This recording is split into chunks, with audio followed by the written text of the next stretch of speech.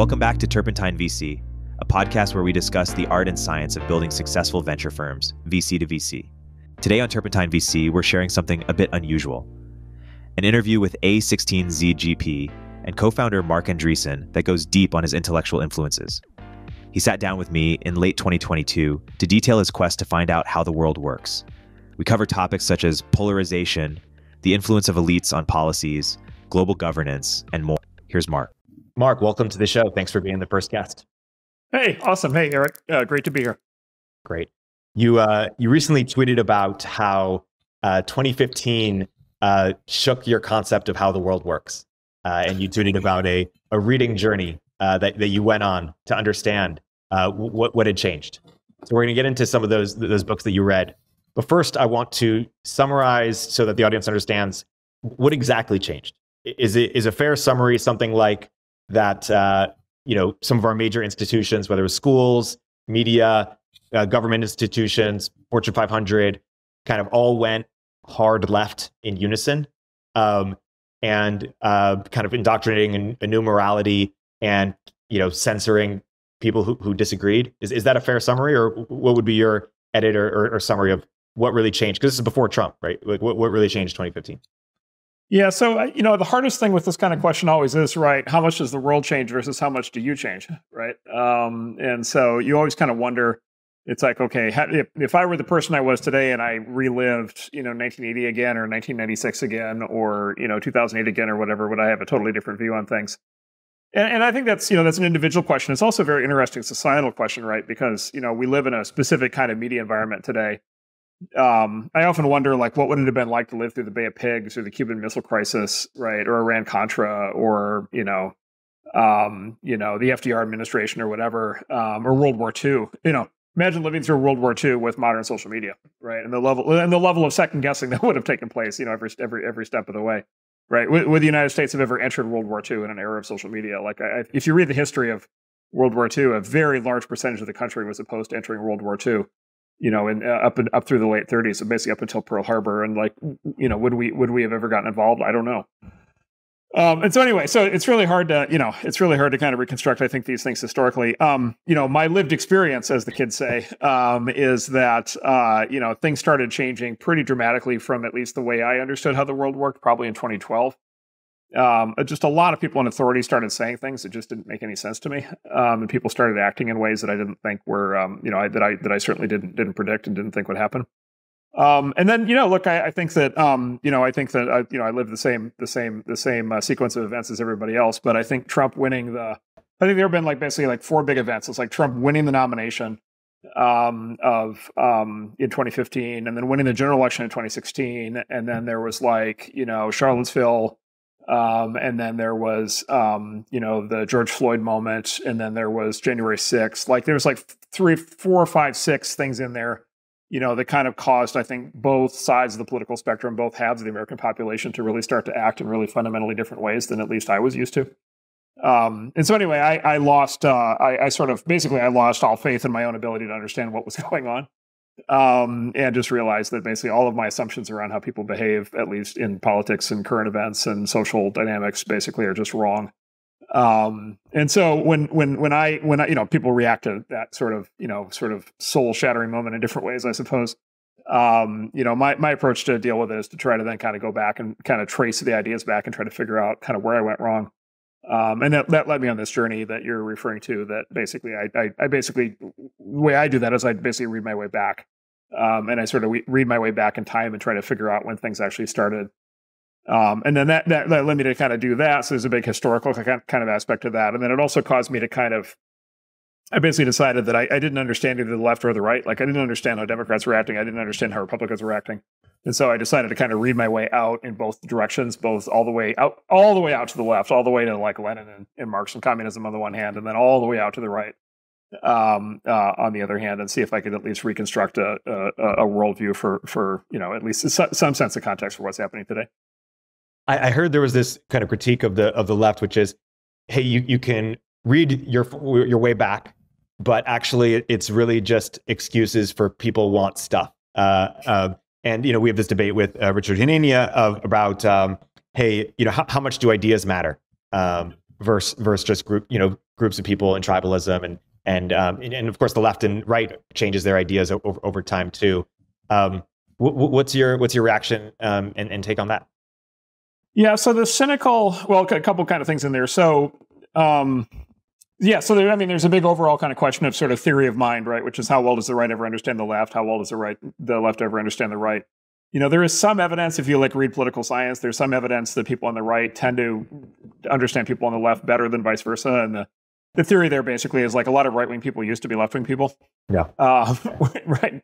people tend to move right as they go through their lives. Um, and so, um, you know, you maybe have a, have a memory like a lot of neoconservatives were former Marxists, Marxists as an example. And so they, they've actually fully understood Marxism inside out. Uh, we'll talk about James Burnham, who's like yeah. a classic example of this, who actually was, was a very uh, active Marxist in the 20s and 30s, communist. Um, so, so anyway, there, there, um, uh, there, you know, there, there's always kind of that question. Um, you know, the question of whether ideas matter. You know, this is this is one of the things I've been trying to kind of figure out and understand, which is like you've got this kind of you know a lot of this happened around Trump, which is you, you've kind of got you've kind of got two things that kind of seem to run in parallel and seem to kind of affect each other, but it's not clear which is the dog and which is the tail. So one is like these sort of big mass movements of basically broad-based popular opinion. Um, and, and I don't know if you've noticed this, but like when broad-based popular opinion moves, it's usually not the result of an, know, some sort of detailed intellectual argument, uh, right? It's not that you have 300 million, you know, people who read a, you know, a journal article, uh, you know, an academic journal article, and then I'll, you know, decide to change their mind on things. Like it, it's, it's, it's basically like it's, you know, it's a big, emo- it's an emotional surge, yeah, uh, right, of some form. It's a pri- it's, it's a primal, it's a primal thing. It's, it's, um, you know, it's not, it's not particularly logical or rational, but it, but it's very deeply felt and very deeply believed, and you know, and by the way, maybe, maybe very real. Um, and then there's this second channel, which is like the intellectuals, right? And sort of the, then there's like the uh, intellectual superstructure on top of the movement. And you know, for for communism, that was you know obviously Marx and then Lenin, you know, all of their writings. Um, and then you know there's corresponding you know stuff on the on the um, you know on, on the right where people have written you know very important books over time. Um, and then there's always this question like, okay, is it like the intellectuals? Is it like the intellectual elite basically driving the popular change because basically the population is responding to ideas? Um, you know, or is it the other way around? It's like, no, the people move, and then intellectuals are like, well, you know, the people are moving. I am their leader. I must therefore get ahead of them. I must basically, you know, articulate a story as to why they're moving, so people, you know, down the road will think that it was it was I who caused it. Um, you know, um, Eric Hoffer talks about this. So the and, and Eric Hoffer, the sociologist, in his book, The True Believer, he talks a lot about this. And so the the True Believer is about this sort of mass this sort of mass movement of crowds um, and so Hoffer's argument is an interesting one. Hoffer, Hoffer argues that basically that the, the driver is mass popular sentiment, that mass popular sentiment moves kind of as a beast in and of itself. And he, he uses the term the true believer to kind of refer to somebody who's become part of a crowd, part of a mob, um, you know, part of a part of a mass movement. Um, you know, on either side, by the way, this is true of communism, true of fascism, and so forth. So it's not a political observation; it's a psychological observation. Um, and then what, what Hoffer says is basically whenever there's a big surge in popular movement, there's always sort of the evolution or development of a set of intellectual ideas on top of that that basically serve to describe what's happened and sort of rationalize it and try to put it into an intellectual framework. And he said the reason you get those ideas, um, the reason that happens is because the movement needs to recruit the intellectuals. Um, and so to recruit the intellectuals, you, you need to have ideas. Um, and so you've got this like thin layer of intellectual content on the top that serves to recruit the intellectuals to the movement and then you've got the demagoguery and kind of the mass movement underneath that's sort of non non rational and more more emotional. You know, maybe that's the case. I think Richard, if he were here, would probably agree with this. Um, you know, Richard Richard's you know general take, as I understand it, is that you know basically people respond to interests more than ideas, and so if you know people in the crowd think that they're going to be better off as a result of you know uh, action X, or if their enemies are going to suffer because of action X, that's a that's a direct incentive, and they respond to that and the ideas are kind of these abstractions that intellectuals just kind of chase their tails on. You know, maybe that's the best explanation.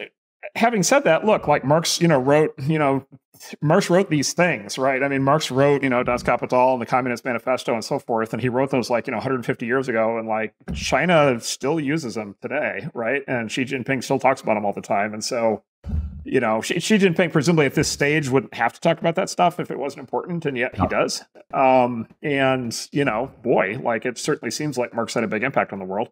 And, and by the way, those same materials are taught in you know university colleges and universities today, and they're you know you would seem like they're having a pretty big impact on the world. Um, and so you know that's a pretty strong argument that they're that they're a driver. So you know, truth probably somewhere in the middle. Totally, yeah. Oppressor and oppressed language still uh still still lives on today for sure. Um, Big time. the um, so you, so you read a you know a few dozen books about uh, you know understanding the left, understanding the right.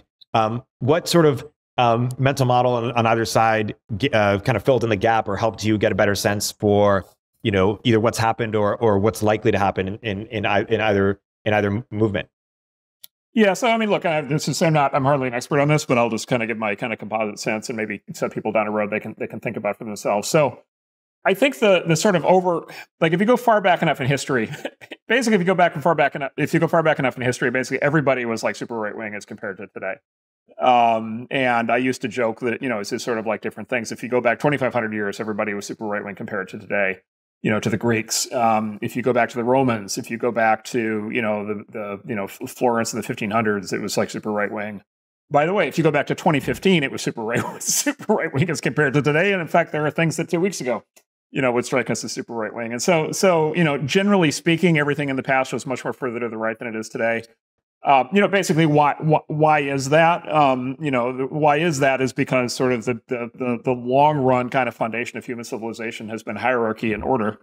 Um, and uh, you know, if you go back to sort of any previous you know society, you know, they they you know they all have some conception of natural order. They all have some conception of you know you know rulers and ruled. They have some conception of you know aristocracy and and and proletariat or, or so forth. And and you know, hierarchy and order are sort of inherently right wing ideas. Um, and then, you know, if you believe that, then basically the left is a reaction to the right, right? So the the left, the, the, the, sort of right is the original original thing, and then the left sort of emerged over time in a reaction to it. And you know, starting with maybe you know call it Judaism and Christianity, and then sort of flowing forward into you know kind of liberal democracy, and and then ultimately socialism and communism. You know, there's sort of all these sort of left wing movements over the last 2000 years have this sort of you know critique and it's a critique of the right and it's a critique of hierarchy it's a critique of unfairness right? It's a critique of, you know, some people have more than other people. You know, some people have more power than other people. Some people have more money than other people, and that there's an unfairness to that. Um, and you know, there's some ultra, you know, there's some altruism instinct in the human spirit that doesn't like that. Um, and so, as a consequence, you know, the, the, left basically says the existing order, the existing hierarchy is unfair, and so therefore we are going to tear it down and replace it with something that's more egalitarian. Uh, something that has more more fair outcomes. Um, you know, Christianity did that from a morality standpoint um, and then you know, um, uh, and then uh, you know, so socialism basically attempted to do that from from from, an economic standpoint, and we we kind of live in the shadow, you know, maybe of uh, of those two great movements. Hey, we'll continue our interview in a moment after a word from our sponsors. Hey everyone, Erik here. At Turpentine, we're building the first media outlet for tech people by tech people. We're the network behind the show you're listening to right now. We have a slate of hit shows across a range of topics and industries, from our AI and investing cluster of podcasts to shows that drive the conversation in tech with the most interesting thinkers, founders, investors, and influencers, like Econ 102 with Noah Smith. We're launching new shows every week, and we're looking for industry leading sponsors. If you think that might be you and your company, email me at erik@turpentine.co. That's E R I K at turpentine.co, and let's partner together.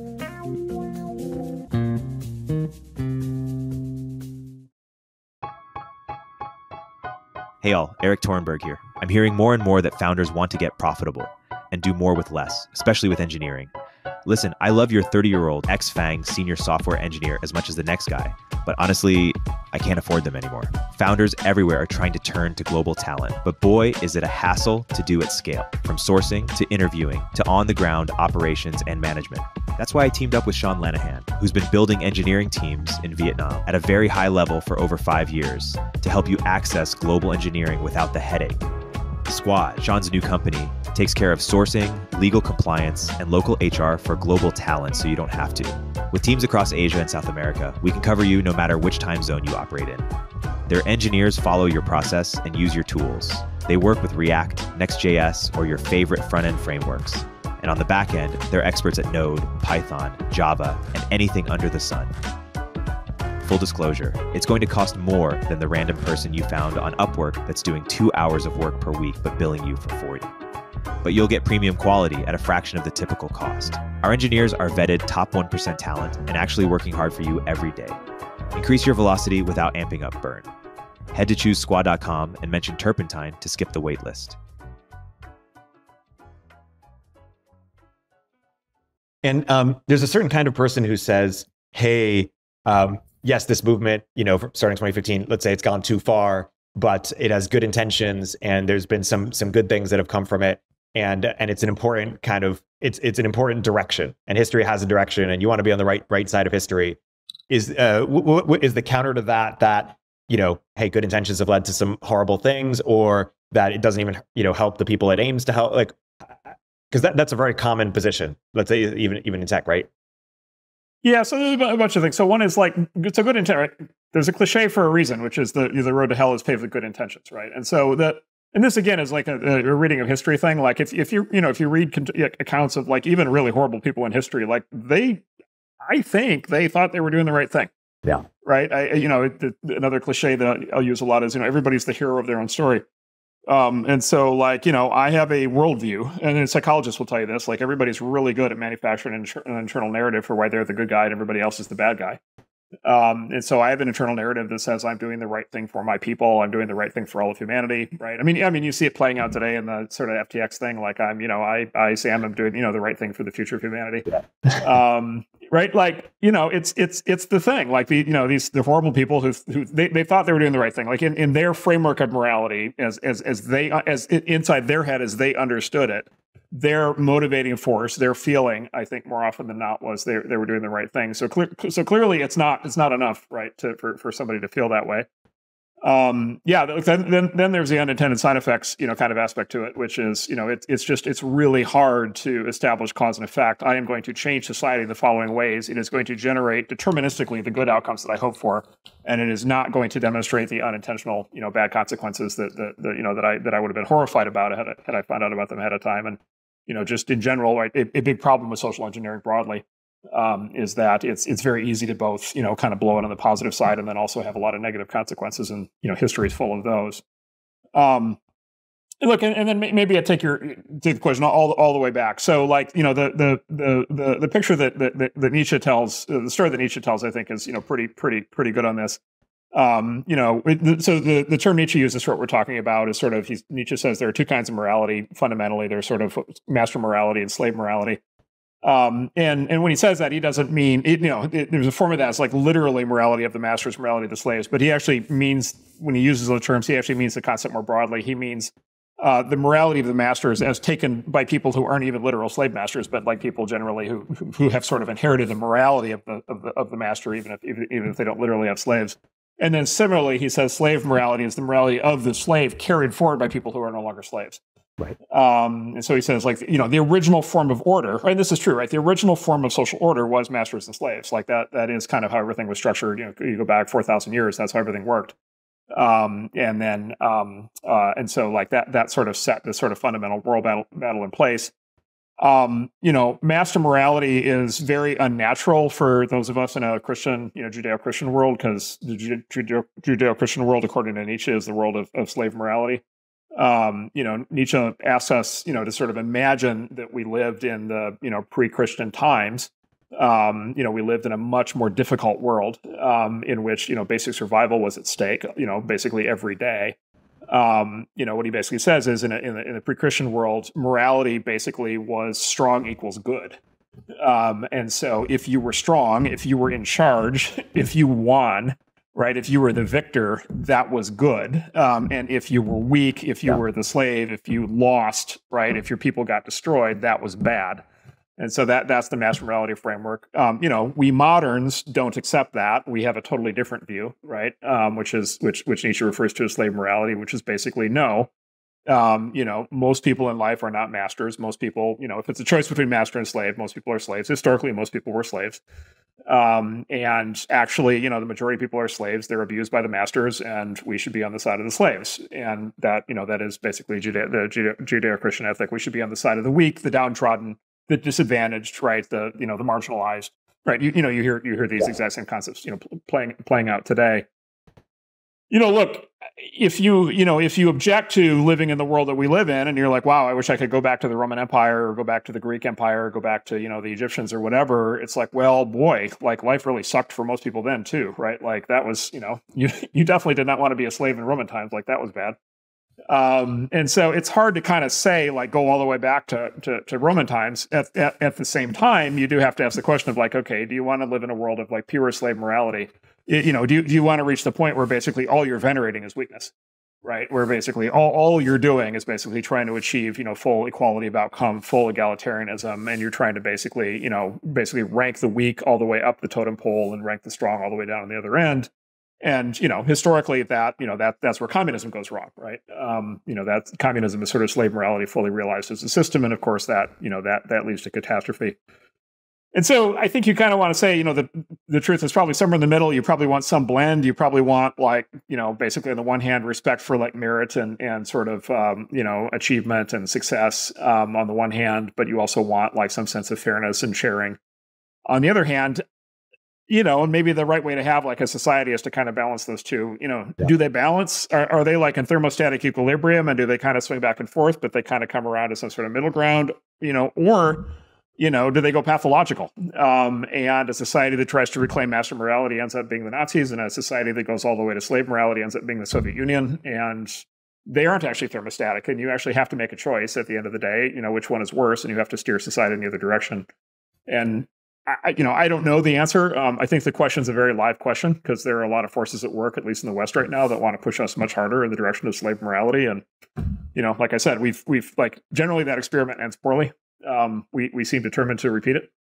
Yeah, it, it's interesting. I mean, if we're trying to reconcile the two, it, it seems that we have strong brake pedals um, or a strong immunity on the on the master morality side. Um, you know, ability to hold back strong men, um, or ability to you know take care of them. Whereas we, we have less immunity on people kind of um, you know be, being manipulative on the on the slave morality side to, to get what they want because we do care about compassion and, and, and kindness, good intentions so so much. And um, you know, it's it. You, you, mentioned it's a live question. I mean, er, er, earlier today, um, Elon just tweeted that you know uh, wokeness is a is a is a mind virus, and it's the it's the most important problem. And and obviously, you know, I, we, we can't speak for Elon, but uh, if I was to parse that or, or steelman that, I, I, would say it's like it's almost this meta problem by which you can't uh, solve other problems. Uh, you know, if you have uh, kind of excess slave morality, uh, making our institutions dysfunctional, making us turn on each other, uh, et, et cetera. Yeah, it's like, you know, can, can you ever be too fair, right? Can you ever be too fair? Can you ever be too nice? Can you ever be too nice, you know, to the downtrodden? Can you ever be, you know, too determined to address injustice? Like, is that possible? And a lot of people would say, no, you, you can't. You, you can always do more. You can always be more fair. You can always, you know, have more equality you know, again, you know that that that was the story of the communists. Like that that was the proposition of communism in the economic realm, and you know, like we, we you know we saw how that ended. Um, I just, by the way, if you saw, I just, um, I just asked, uh, I've just been running experiments with Chat, G, Chat GDP, G, uh, sorry, Chat GPT, the the the OpenAI thing, the chatbot, and um, you know, it, it actually does, it actually gives a pretty fair up description. You ask it about fascism, and it actually does kind of a really good description of fascism, and you know, kind of notes that it like doesn't end well. Yeah. Um, and then you ask it to describe communism, and it does this very interesting thing where it describes communism, and then it says, then it says, and then it says, now in fairness, communism uh, has been implemented to varying levels of success. it's like, well, you know, hmm, like, uh, okay, you know, and of course, what that's what that's reflecting is like, you know, you know, nobody in OpenAI decided that that would be the answer. I don't think. You know, what, yeah. what happened was OpenAI is trained on the corpus of, of, of, written human knowledge, and generally speaking, a lot of people who've written about politics for the last hundred years have been a little bit soft on communism, um, and that kind of reflects its way through the uh, the training data. Um, so, um, yeah, so I, I, look the, the the the book that had the biggest impact. You know, you mentioned the, the Elon thing. I'd, I'd abstract that out a little bit. The, the book that had the biggest impact uh, for this question on me, uh, this question of like, can you have sort of this sort of the slave morality, or, or the sort of a, a, morality of compassion. Let's say a morality of compassion and redressing injustice and achieving equality. Like let's you know, egal, it's called you know sort of egalitarianism as, as an ethic um, you know, whether it's it's it's you know religious in the form of Christianity or whether it's economic in the form of you know uh, let's call progressivism. Um, uh, you know, does that always become pathological? So, you know, the strong argument that that becomes pathological is James James Burnham, uh, who we'll talk about it probably a fair amount. Um, but uh, James Burnham wrote three, you know, I think really important books. The third book he wrote, which has a very aggressive title called "Suicide of the West," which kind of gives away his answer um, is basically a full undressing of call it liberalism and progressivism. You know, sort of as use sort of as pseudonyms um, or uh, synonyms. Um, and you know, he makes a strong argument. He wrote this the book in 1964. Uh, he wrote the book having been a such a committed communist in the 20s and 30s that he actually was a personal friend of Leon Trotsky and worked with Trotsky for years and like argued with Trotsky at great length for a very long time. So, you know, he's a guy who definitely knew the left and knew communism and, and socialism really well. Um, and you know, he he wrote this book uh, in '64 when he was the chair of the NYU philosophy department, which it's basically right inconceivable that a character like this would be in a position like that anymore. Um, but uh, he was at the time. And of course, he, he wrote the book in 64, which is like right before the big social upheavals of the 1960s that resulted in, you know, the world we live in today. And what he basically said in the book was he said, actually, sort of the left has a fatal flaw, and the fatal flaw to your exactly to your point, the fatal flaw is there's no governor, right? There, there there's no limiter on how much compassion you can have. There's no limiter to how much you know you can try to achieve equality. There's no limiter to how much you know you can try to overthrow hierarchy and order um, and get to uh, you know full egalitarianism. And so and so he basically says in the book, um, as a consequence, liberalism will always become progressivism. Progressivism will always become socialism. Socialism will always become communism, and you will always end up, you know, basically, you know, in, in pursuit of utopia, you will always create, you know, hell on earth. You know, um, you know, the 20th century, like, you know, there's, I don't know what it was, like 80 societies or whatever, the course of the 20th century tried different versions of communism and kind of all got the same result notwithstanding OpenAI um, or uh, ChatGPT. um, you know, I, you know, the counter argument, the steelman counter argument would be, you know, look, most European economies today and the American, you know, system are, you know, they're they're left wing in a lot of ways, you know, from a historical standpoint. But you know, they're they're they're hardly, you know, we're not the we're not in fact the Soviet Union. It's it's not full communism. Um, and so, you know, at least over the, the you know, since he read the book, that hasn't literally played out in the West. Yeah. You know, there are people in national office who, you know, do definitely seem to have that vision. So, um, you know, I would say the jury's still out. There, uh, if uh, if Eric Weinstein or Sam Harris or Yascha Mounk were, were here, they would say, "Hey, no, post World War II, we had this golden era of of, of liberalism um, where um, we were able to to keep things in check, um, and um, and we just need to get back to that." And and if Peter Thiel were, were here, he would say that's like uh, you know the communists saying, you know, real liberalism, real communism has, has never been tried um, and it's a it's a pipe, pipe dream. Um, is is that time period uh, an, an anomaly, or, or, or, how, how do we how do we make make sense of it? Why, why is uh why is you know going back a uh, a pipe dream? Or is it? Well, I think any modern leftist would say that was also the era of peak, you know, racism, sexism, homophobia, right? Like, you know, that was the Mad Men era, right? Um, and so that was the era in which, like, you know, basically white men were running around doing whatever they wanted, and you know, women were oppressed, and gay people were oppressed, and black people were oppressed, and you know, you know, all these all these things.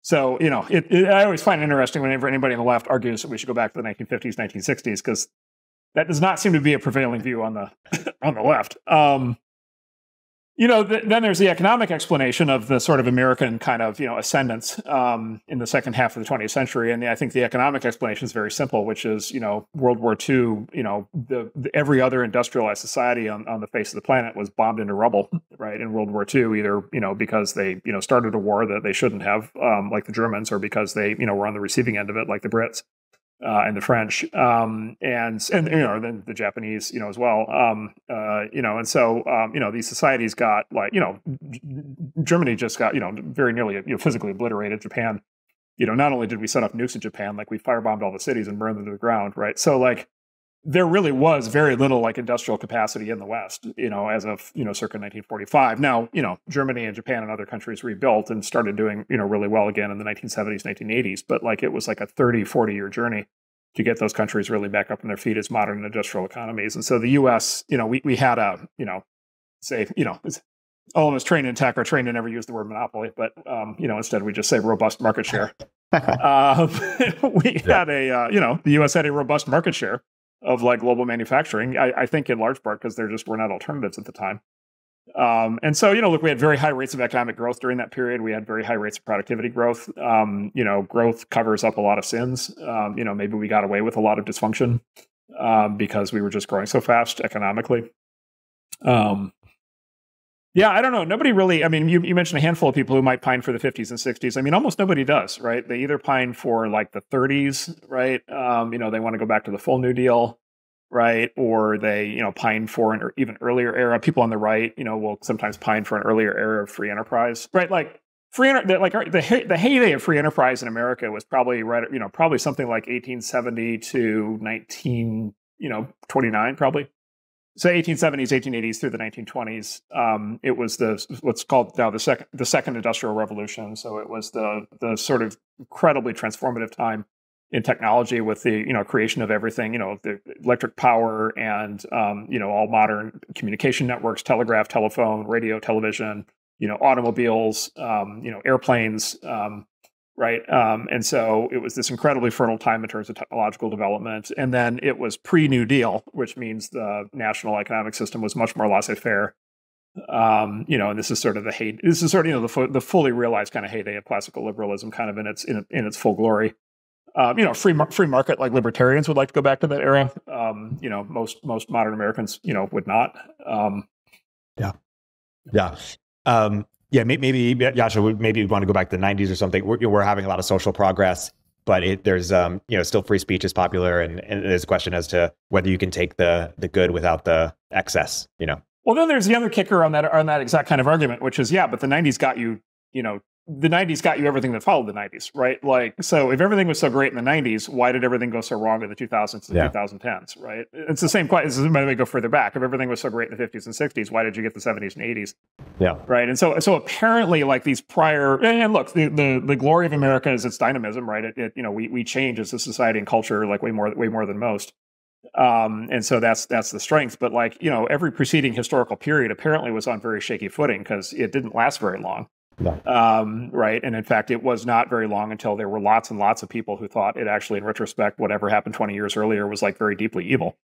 Um, and so, you know, whatever preconditions, you know, what, whatever conditions created whatever golden age you want to hang, you know, hold out there, they, they didn't last. Yeah. Right. And, and, and, in fact, you know, they, they presumably sparked reactions and changes that led to the, you know, the worst environment we're in today. So it's, you know, I, I, think it's hard to find stable. It's hard to find stable ground, and so it's, and it, because it's hard to find stable ground, it's also hard to have that much faith in the sort of so-called thermostatic model. Yeah, it's hard to have, you know, because what a lot of people will say is, oh, fine and good, and there's these constant arguments and right, left, and this and that, and interventionist and and isolationist, and there's all these kinds of poles, right, nationalist and globalist and so forth. There's all these kind of different axes of politics and social change, um, you know, merit slash, you know, equality of, you know, opportunity versus quality of outcome and so forth. So you can you can kind of imagine like a graph that has all these different axes, and then basically the pendulum kind of swings all around the graph, but always comes back to the center somehow.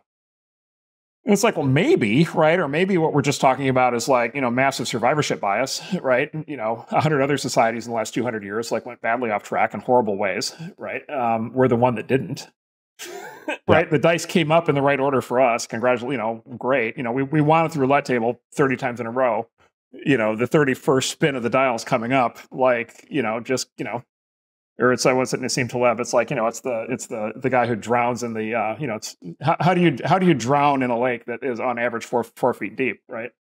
Uh, well, it's because you know if most of the lake is three point nine five feet deep, and then there's one part that's hundred feet deep, and you get stuck in that part, you're in real trouble, right? And so, you know, maybe we're always about to wander into the into that trench, um, and you know, fall out of view and die.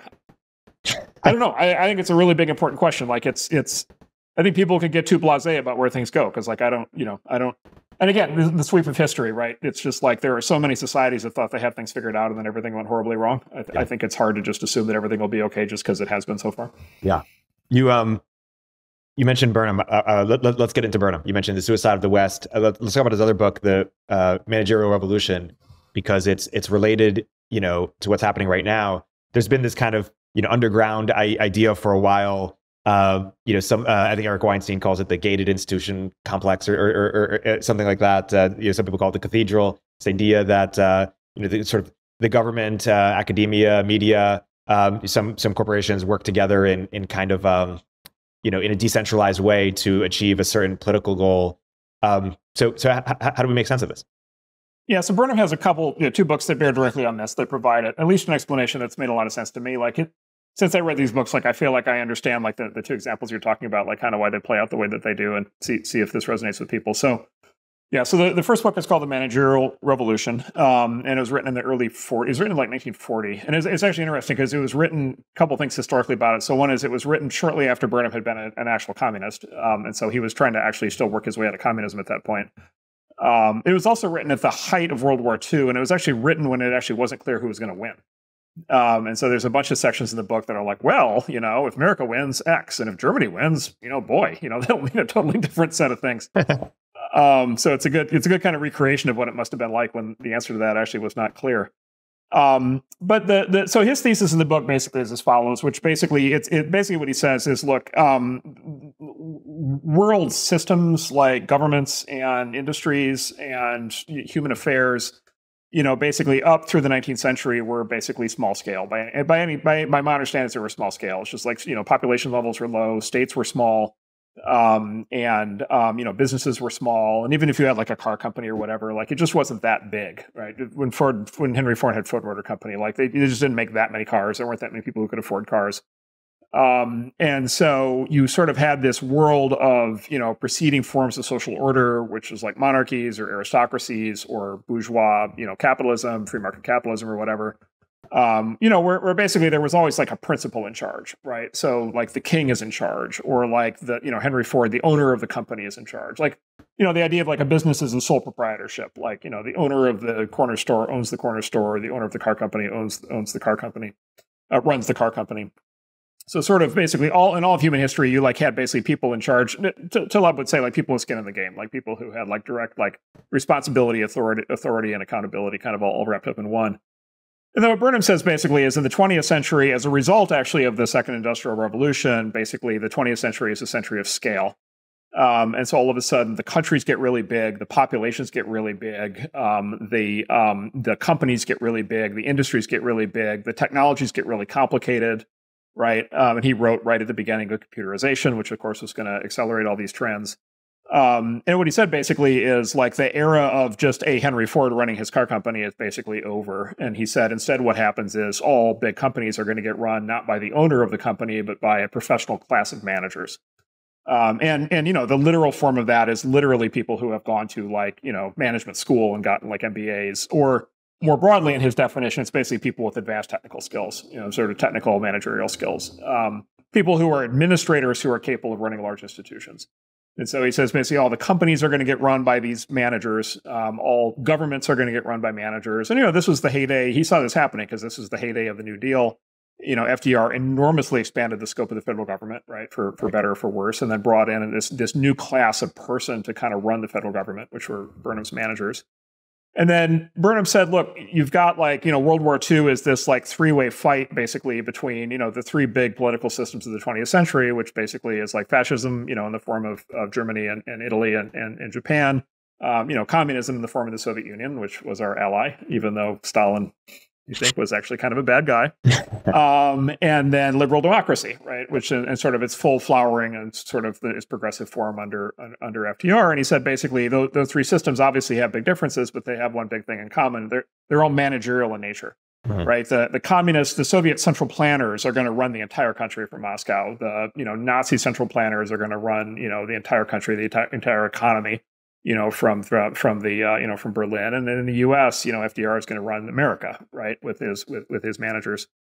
And, and, but, but but the kicker he put in is he said, look, this is not either you know you could say this is good or bad. It doesn't it doesn't even matter if it's good or bad. He says it's necessary. He says the the reality is all these systems are too big to be run by you know the older model of you know the Henry Ford, the owner, or whatever. Uh, like oh, these systems are all gigantic. Like they are all gigantic. Like all countries from here on out are going to be huge. All industries are going to be complicated. All businesses are going to be complicated. Um, and so it's going to be a world of managers from here on out. And then he basically identifies what you know today we would call the principal agent problem, right? Which is um, basically what this means is, and you, you see this with companies, right? Um, which is basically um, if the owner of the company is not running the company, right, then there's a separation of ownership and control, right? A separation of ownership and management. And then you're going to have basically the creation of what he called the managerial class, which will be the people who are basically going to be actually running the company. And then as a consequence of this, you know, ownership will tend to then get dispersed, right? And ownership will become very weak. And, that's that's what's happening. I think of any public company today, right? How many owners are there? You know, take a you know take any of these companies, take General Motors. Um, how many owners of General Motors are there? There are millions of owners of General Motors because there are millions of people who own General Motors stock. How many managers are there at General Motors? There's you know the top ten executives that run the you know there's a CEO, the top ten executives, the top 200 managers in that in that company run the company. Like who's more in charge? of General Motors, right? The owners or the managers? And the answer is clearly the managers. By the way, same thing politically, right? Who runs the United States, right? Who runs the United States government? Is it the voters or is it, you know, Congress and the White House?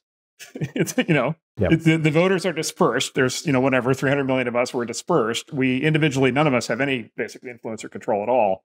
Um, and so, you know, the handful of people who are our representatives basically, you know, run everything. And, and, you know, and this leads to this, you know, incredibly weird results where like, you know, Congress polls at like 10% overall, but like 90% of us like our congressperson, right? It's yeah. like you get these paradoxical kind of side effects of this. Anyway, so the creation this managerial class. And then basically the principle, so therefore what he says, he, he doesn't use this term, I don't think, but the result is like basically the principal agent problem becomes dominant in everything, right?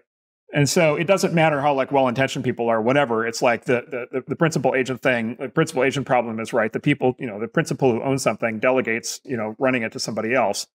Those people have very different interests. And if your principals, your owners are dispersed and your managers are concentrated, then the managers are going to end up with all the power. And and that's and that's and that that's basically what what's happened. Let, let me pause there and we'll we'll keep going on this thread.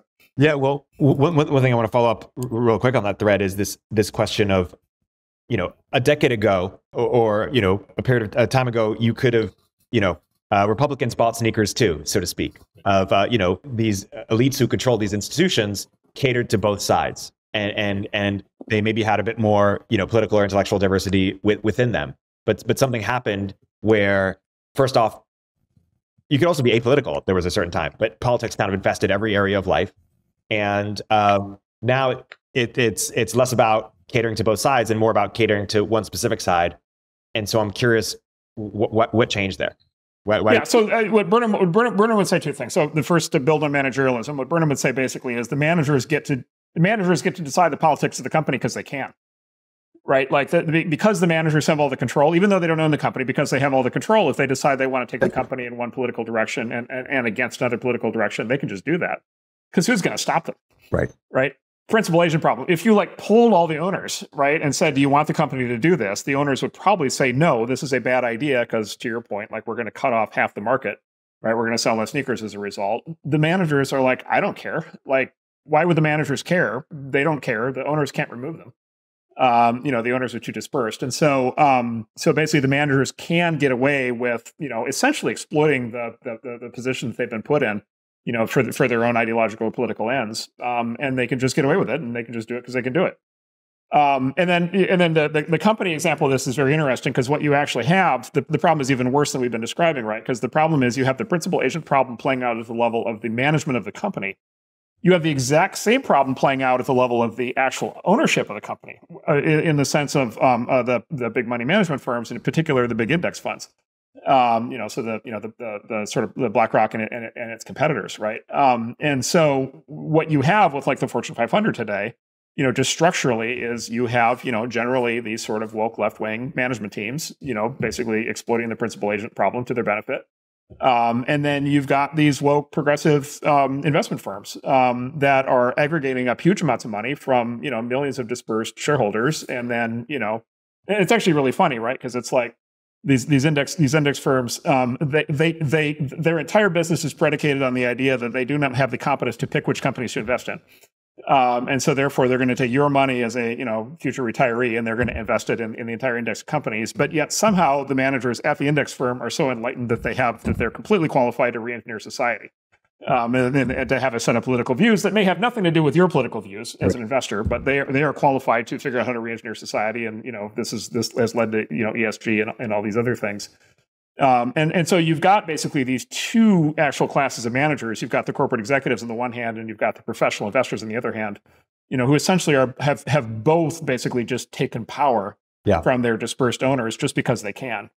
Um, and you know that you know that basically well I you know I think that basically just continues as long as it continues. Like I, I don't know what what stops that. Well, um, yeah, maybe maybe Elon stops that. Or, or... Yeah, yeah, okay. so then there's the Elon thing, right? So yeah, so so so basically, okay. So what we've sort of described is sort of again back back to Burnham, we described sort of capitalism post 1940 or something like. Basically, what, what Burnham basically says is there are two kinds. What Burnham says in the book, there are two kinds of capitalism. Everybody thinks it's the same. They're not. There's two very different kinds. There's what he called bourgeois capitalism, which was the Henry Ford kind, which is the owner of the company runs the company. That's sort of the classic, right? And then there's managerial capitalism, which is this thing where the principal agent problem kicks in and managers run the company even against the wishes of the owners. Um, I view what we do in Silicon Valley with startups, with you know venture, Um, by the way, same private equity also we could talk about. Basically, what venture capital and private equity are is they're sort of the return of bourgeois capitalism into an economic system that's almost entirely managerial. And, and, and, and the reason it makes sense to have like venture capital and startups in Burnham's framework to, to bring back some level of bourgeois capitalism, right, um, is basically that managerial capitalism. It has its it has its advantages. Like they're, they're, you know, remember Burnham's point. Like it is necessary. Like you do need like highly trained professional technical you know managers to run these giant enterprises, right? Um, but you know, it has its problems. We've identified one of the problems, which is this sort of political thing that happens. Another problem of managerial capitalism, I would argue, is it doesn't innovate very well right? And it doesn't innovate. You know, the companies run by professional managers don't don't tend to innovate very well. Why don't they innovate very well? Well, the kinds of people who become professional managers are not innovators. Because if they were, they wouldn't do that. They would be off inventing products and starting their own companies, right? And so, so basically, the way I think about it is venture capital and private equity are sort of the older model of capitalism, that first model of bourgeois capitalism, sort of coming back in the modern era and sort of harvesting this arbitrage opportunity that's created by the fact that the managerial companies can no longer invent new things. Um, and so, you know, we do that. You know, we do, we do that every day. You, you have done that in your career. Um, you know, we're you know, our what, what do our companies all have in common? You know, it's basically there's somebody. You know, there's a person or a very small founding team of people who own. You know, when on, on day one, 100 percent of the business. But even even after they you know get it fully financed, they still own a lot of the business. They often actually have you know voting control um, of the business, and you know they have direct, you know, again they have bundled accountability, responsibility, authority in the old model. Like Henry Ford, you know, if you brought Henry Ford back, you know, if you if you were able to teleport Henry Ford into our era, you know, he would look at a modern high tech startup and he would say that's just like Ford Motor Company was when I ran it. Like that's the model. And then he would look at modern, you know, Ford Motor Company. He'd say, "Holy Lord, like I can't believe like what what happened, right? Like I, I you know, and Ford Motor Company may be a very well run managerial company, but it's not run anywhere close to how Henry Ford right would have, would have run it. So anyway, yeah, so that takes us to Elon. And of course, what Elon is is he is he is the fully realized, you know, Henry Ford, Howard Hughes, right? You know, one of these kind of you know peak bourgeois capitalist you know he he is you know he's you know he is the best you know the best you know kind of uh, example of this bourgeois capitalism model that we've had in in our you know society for for i think decades um, and he's just and you, and you see it playing out with Twitter. He's just like, I own it, right? It's like I bought the entire company. Uh, I own it. Um, I am completely in charge. Um, I am going to completely harvest the payoff right from my success if I make it work, and I'm going to lose all the money of my own money if it doesn't work. Um, I'm attaching my money to it. I'm attaching my reputation to it, right? Like I'm putting my time into it. Like I'm not delegating. Like there's no professional class of managers at Twitter. Like he's like he's running he's running the company himself, right? Um, and so it's it's it's this it's it's it's bringing back it's bringing back this old model. And it's bringing back into a world in which the companies he's competing with and many other companies like generally just like don't run like that anymore. So yeah, I think it's great. Like I think we should bring back as much bourgeois capitalism as we can. Now, Burnham would argue, fine, Marc, that's great, but you're just going to recreate the problem, right? Which is because you're going to you're going to birth all these companies. They're going to be run by the founders for a while, and then at some point, guess what? They're going to get big and complicated, and the professional managers are going to take over, and you're going to just recreate the problem. And I'm like, okay, my answer would be, okay, fine, but like that's a problem for 20 yeah, years from now. Better than we have now. I, yeah, let's let's do it. Let's do what we can for now. I, I see Elon running um, a few experiments. Uh, you know, more experiments in the past few weeks have been started than maybe in the past few years. Um, some, you know, some of them include, um, you know, Elon showing that you, as a company uh, owner, you don't have to be kind of bullied or pressured um, by sort of activists within your company. You can actually fight back and and and maybe win. Um, and that is showing a model to to CEOs of of, of what's possible. I think he's um, presenting a model of you don't have to be externally bullied either. I think we had an era in tech, you know, you companies like Uber or other companies that kind of um, didn't necessarily apologize, or I guess they did apologize and kind of conceded the moral high ground, whereas Elon is fighting back on on a more on moral terms, actually saying no, we are more pure than the people who are attacking us and and winning to to some extent.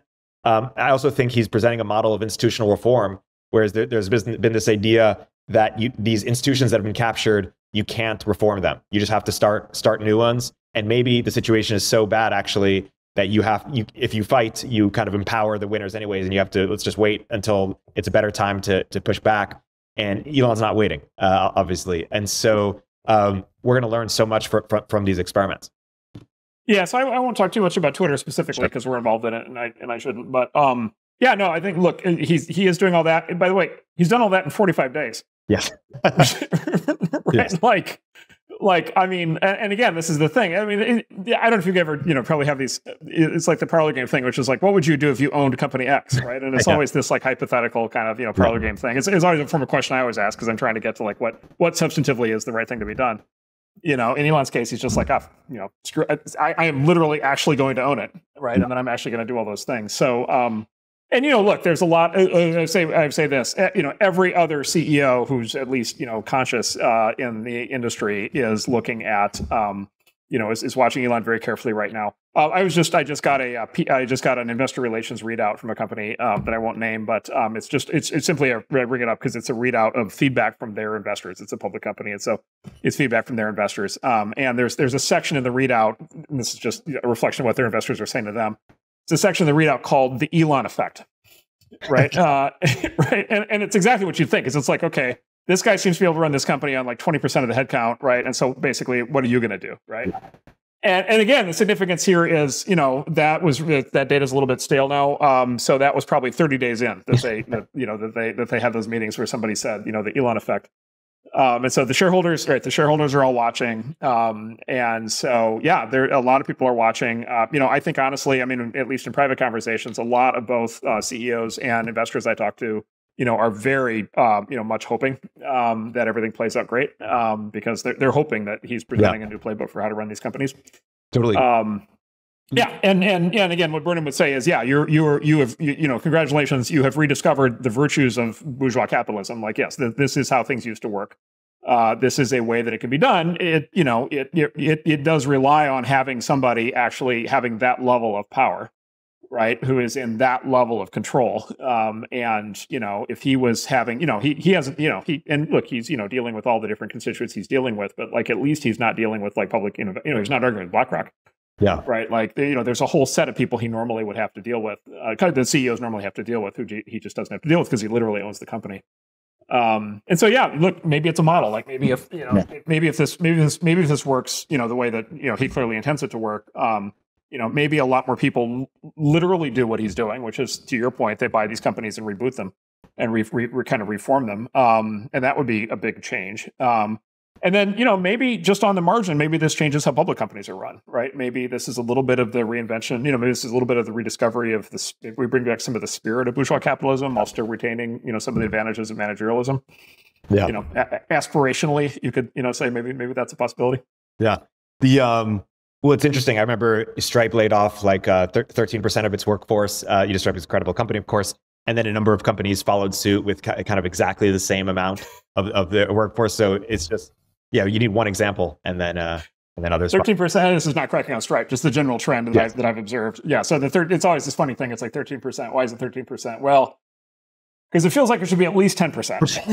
um, but like, boy, fifteen percent sounds painful. Yeah but we do want to show that we're serious. Um, and so, and we want to meet in the middle. And so it's probably going to be either 12 or 13%. And if, you know, 12% might sound a little weak. So let's do 13%. Yeah, exactly. So, the, the, right. Whereas, you know, Elon's like, yeah, 80%. yeah, exactly.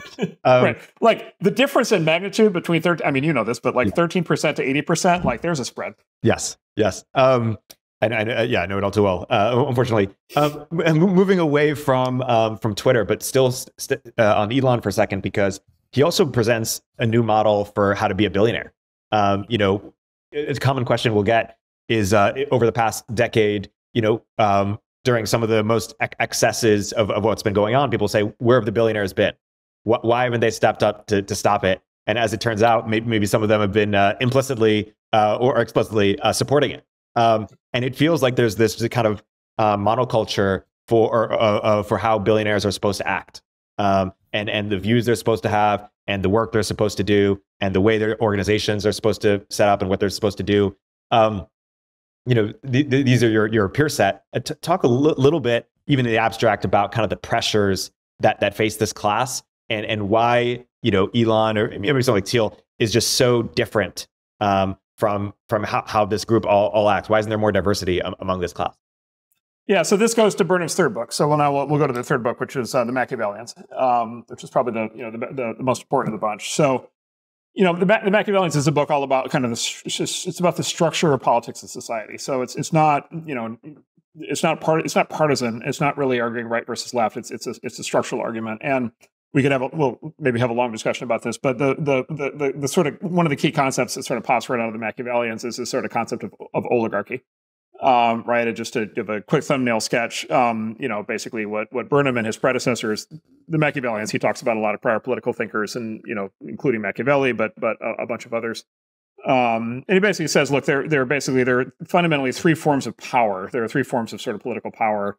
There's rule of one, um, there's rule of the few, and then there's rule of the many. Um, and then what Machiavelli said actually is there's there's a good and a bad version of, of both of those. Um, and so the good version in, in Machiavelli's formulation, um, the good form of mo- the rule of the one, the good form is monarchy, the bad form is tyranny. Mm-hmm. Um, for rule of the few, the good form is aristocracy, the bad form is oligarchy. Um, and then for um, uh, rule of the many, the good form is democracy and the bad form is, is anarchy. And so, and this is sort of a, a, general framework for political systems. And then historically, if you read like Machiavelli, historically, political systems basically go through this rotation. They actually rotate through the six, and then they go back to the beginning. So they start out with monarchies. The, the king goes bad. That becomes a tyranny. The king is overthrown by the aristocracy. The aristocracy basically goes to seed, becomes the oligarchy um, the people ultimately decide they hate the oligarchy. They take over. They assert democracy. Democracy doesn't work because the people can't rule because um, they're dispersed. That then turns into anarchy, and then therefore that's where you get a king. And so there's this sort of theory of sort of this timeless cycle um, of, uh, of politics that plays out um, uh, the if you kind of read this book and take it seriously, then you kind of say, okay, what what is our political system like? What what political system do we live under? And so you can kind of run a process of elimination, and you can kind of say, well, it's clearly not rule of the one anymore because like there's no more kings, right? So it's not monarchy or tyranny. Um, you know, hopefully it's not anarchy. So that sort of you know brings it down to sort of aristocracy, oligarchy, or democracy. Um, and then what you what you want to say, right, is that it's it's oligarchy, it, it's democracy, right? What we've all been trained from from childhood to say is that it's democracy, but of course, you know, a it's technically not democracy because it's representative democracy, which is not the same thing as democracy, right? So we're we're not, we're not like voting on every single issue. We're we're electing, you know, 435 congresspeople and 100 senators and so forth, and a single president to figure this stuff out for us. So it's representative democracy. So it's basically rule of the few. Um, and then is it arist- and then if it's rule of the few, is it aristocracy or oligarchy? And I, I think the short answer to that is it was aristocracy basically up through about the 1960s. Um, and you know that was sort of the heyday of the WASP aristocracy, and then these sort of super elite, assimilated, you know, uh, Catholic aristocrats, Jewish aristocrats, you know, kind of with the with the sort of dominant Protestant aristocratic class at the time that kind of ran the country. I mean, you know, FDR himself was like a peak WASP, you know, arist- yeah. you know Roosevelt, like a peak WASP aristocrat uh, you know, kind of a, a, of his era. Um, and then basically since the 1960s, you know, basically the aristocracy basically for a variety of reasons either, you know, had power taken from it or just decided to give up power. And then, and then our modern political form is, is oligarchy. Um, and, and, um, and, and then there's this big difference between aristocracy and oligarchy. Um, aristocracy consists of what Machiavelli called lions, which are people who basically rule through basically force and um, basically assertion of command. Master morality. Right? The, the, what's that? Master morality. Yeah, master morality. Yeah. Well, so the classical aristocratic rule is why am I in charge? Because I'm in charge. Like I'm the aristocrat. I'm from the right family. I own the land. Screw you. Like do what I tell you. What he calls the lion, um, and then the, the, the oligarchy, right? Exactly. So the, the aristocrat is sort of representing the last vestiges of master morality, the oligarch who competes with the aristocrat basically says, "Oh, actually, I'm ruling on behalf of the people." And So he's what Machiavelli calls the foxes, um, and basically the foxes rule through deceit, manipulation, and cunning. And their form of deceit, manipulation, and cunning is to claim that they are acting on behalf of the people when, of course, they're actually acting primarily for themselves, because lo and behold, they are self-interested just like everybody else. Um, and so anyway, Burnham and Machiavelli and Cicero and all these guys, Aristotle would say we're we're living in we're living in a classic oligarchy. Like that that's the actual structure that we're in. Um, and, and, and so basically our, our ruling class is an oligarchy. It's an it's an oligarchic elite. And elite here is a is a term, you know, out, out of this book as well. Um, and then and then basically, so anyway, long-winded way of getting to your question, which is okay, what happens to a high-tech founder, right? Regardless of background, maybe they come from another country, maybe they come from here, maybe they come, you know, I, I come from the rural Midwest um, and they start a tech company and it works and they become successful and they become rich, right? And they become like high status all of a sudden. What happens? And, and, and, and the question of what happens is they get invited into the oligarchy, right? And, and, literally, what happens is you start getting invitations, right? And so you get invited to Davos, and you get invited to Aspen, and you get invited to you know it's, it's, you know Nantucket, and you get invited to you know, and before you know it, you are spending your time with. And, and by the way, you show up right to these things. You know, you show up to the, the Aspen Institute for the first time or whatever, and you're just like, oh my god, like I've arrived. There's right? Prince Harry yeah, there's Prince Harry and there's, you know, Mike Bloomberg and there's, you know, all these like there's all these and there, you know, the movie stars and like, you know, TV yeah. stars and politicians and you know, there's Cory Booker and there's Kamala Harris and like it's just like it's like wow, like I am in, like I am in, I am in the in crowd, right? Yeah. And and you're invited in. And by the way, they're as nice as can be. Like they're incredibly sweet. They're incredibly nice. They they're so happy to see you. It's so great to have you there. Um, and you know, dinners are great and the parties are great and it's all just so fantastic. And then at some point they're like, well, we have this project that we're raising funding for. And you're like, oh, wow, I would love to support your, you know, program to whatever reform, you know, whatever school, you know, and then all, of a sudden you find yourself writing the checks. And then it's like, well, you know, actually I'm running for president next year. And boy, I'd love to. And you're like, wow, you're my friend. I'd love to support you. Like this is all great. And, and so it's, it's a, so what is it? It's like a, it's a social circle right? Um, it's a political network. Uh, it's a patronage network. Um, it's a fundraising network. Um, it's a PR campaign. You know, it's, it's all of those things. It's a power. You know, it's a whole. It's a power, it's a governance structure. Um, you know, these are the people who staff the senior positions at like all the big important institutions in the country. You know, university presidents and people yeah. who run media companies and editors of newspapers and. You know, as they say, the bold-faced names, like the, the you know the people who are, um, you know, when they're written about in the newspaper, their names in bold because everybody knows who they are. Um, and it's just like, wow, I'm like in, right? Um, and you know, if you're not like paying attention to it, um, you know, what you realize is, you know, it's not, you know, you're what you're what you're not getting in that group is you're not getting like some broad representation of different like political views and different walks of life. What you're getting is basically this like basically abstracted elite oligarchic oligarchic class where they actually it actually turns out like their politics are all just identical like they all believe exactly the same set of things if they have arguments about anything it's only on the margin um, and you know primarily it's a it's an influence operation it's a you know there's a lot of what's called log rolling i support you you support me and it's a it, by the way it's distributed like there's no central node there's nobody in charge there's no wizard behind the curtain there's no secret boss who's organizing the whole thing. Like it's happening. You know, these are literally like conferences of 400 people where somehow they all end up thinking the same thing. Like that. Yeah. You know, that that is. And so anyway, what what what Burnham Burnham describes this process in the book, and he calls it it's the the, the technical term for it is called the circulation of elites. Um, and so basically, what if you read the Mach- Machiavellians, what you learn basically is because of the political structure stuff I was talking about, any any any modern any modern society is going to be an oligarchy. Basically, um, that oligarchy is going to have a, a, a, ruling elite at the top. Um, the only way that that oligarchic elite can ever be displaced is with another elite taking its place, right? Um, which reasons for reasons we could talk about. Like pop- populism is a total dead end. It, it yeah. would have to be replacement by a different category of elite.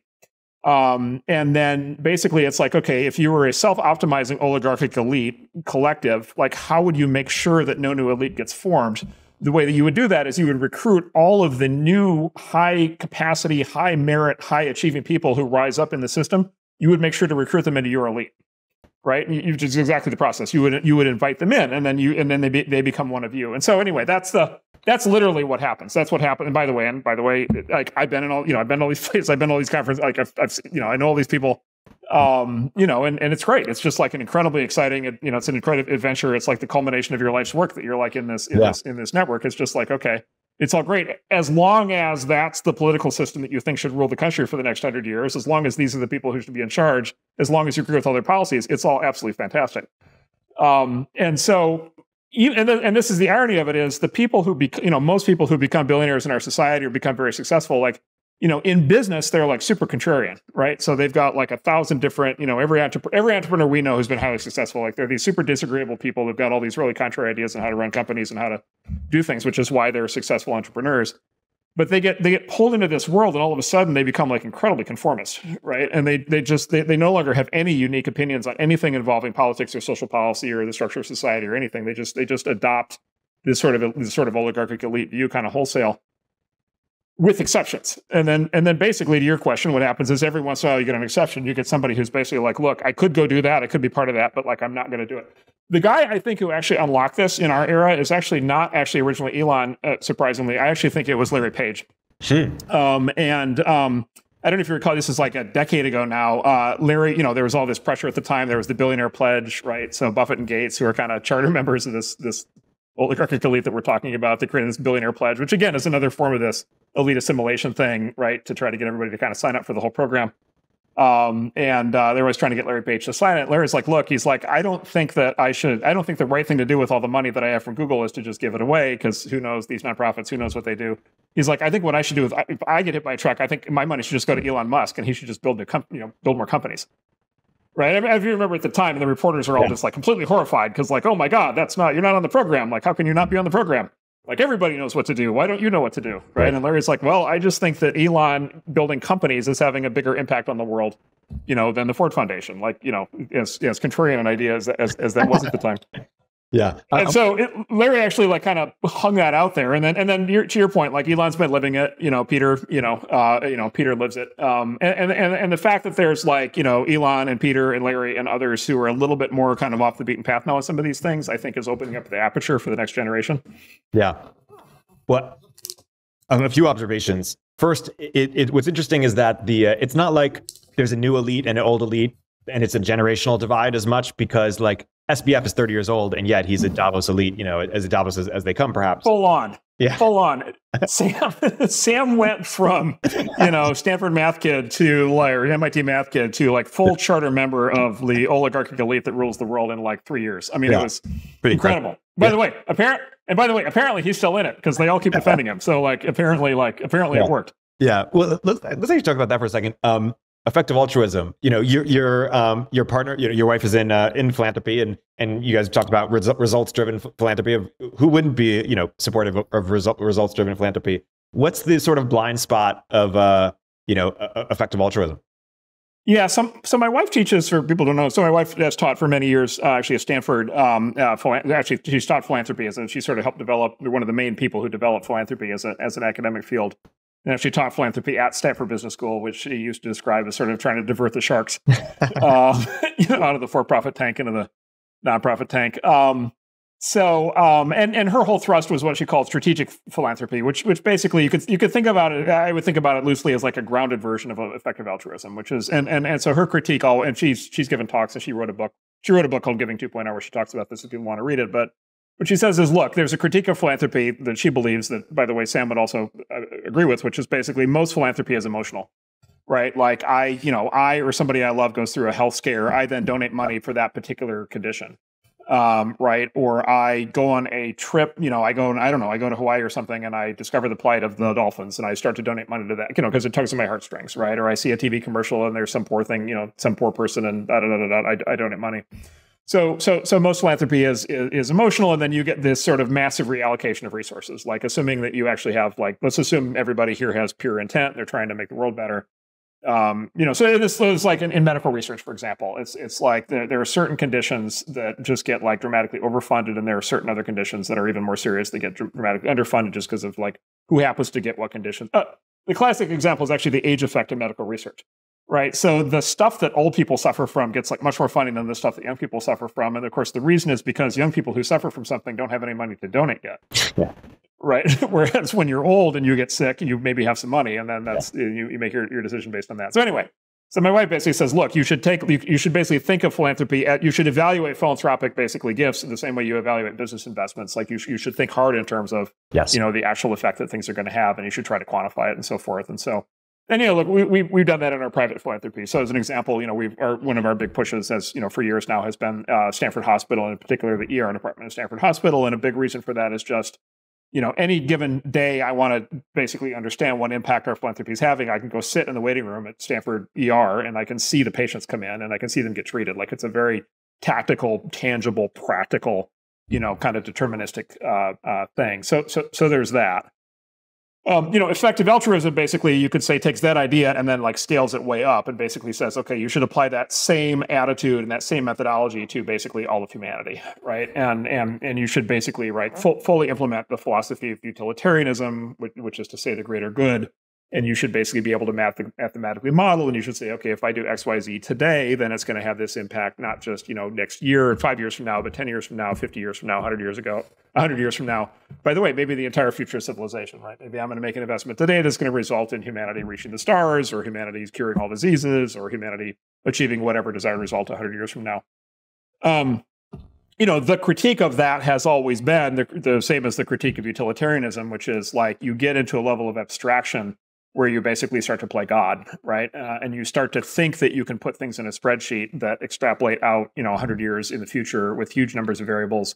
You start to think that you can re-engineer society, right? You start to think that you can kind of play this like really big game right? Will, will, you ever actually be able to prove any of your assertions? Will you ever actually see the results of your work? Will you ever actually, will there ever be a feedback loop back to what you're doing so that you can correct? Like, probably not, because you're now dealing at a level of abstraction and time horizon that's just like way beyond any any, any individual human's uh, ability to do, do anything. And so, anyway, this is my, my critique of it. Is like it's just it, it, it leads you into this like playing God social engineering thing. And of course, if you ask, well, what kinds of political movements you support playing God and doing social engineering, I think we'd agree on the answers. Um, and so it, it, leads you down this kind of ideological path that has a shocking number of, of, of overlaps to other ideological paths that have yeah.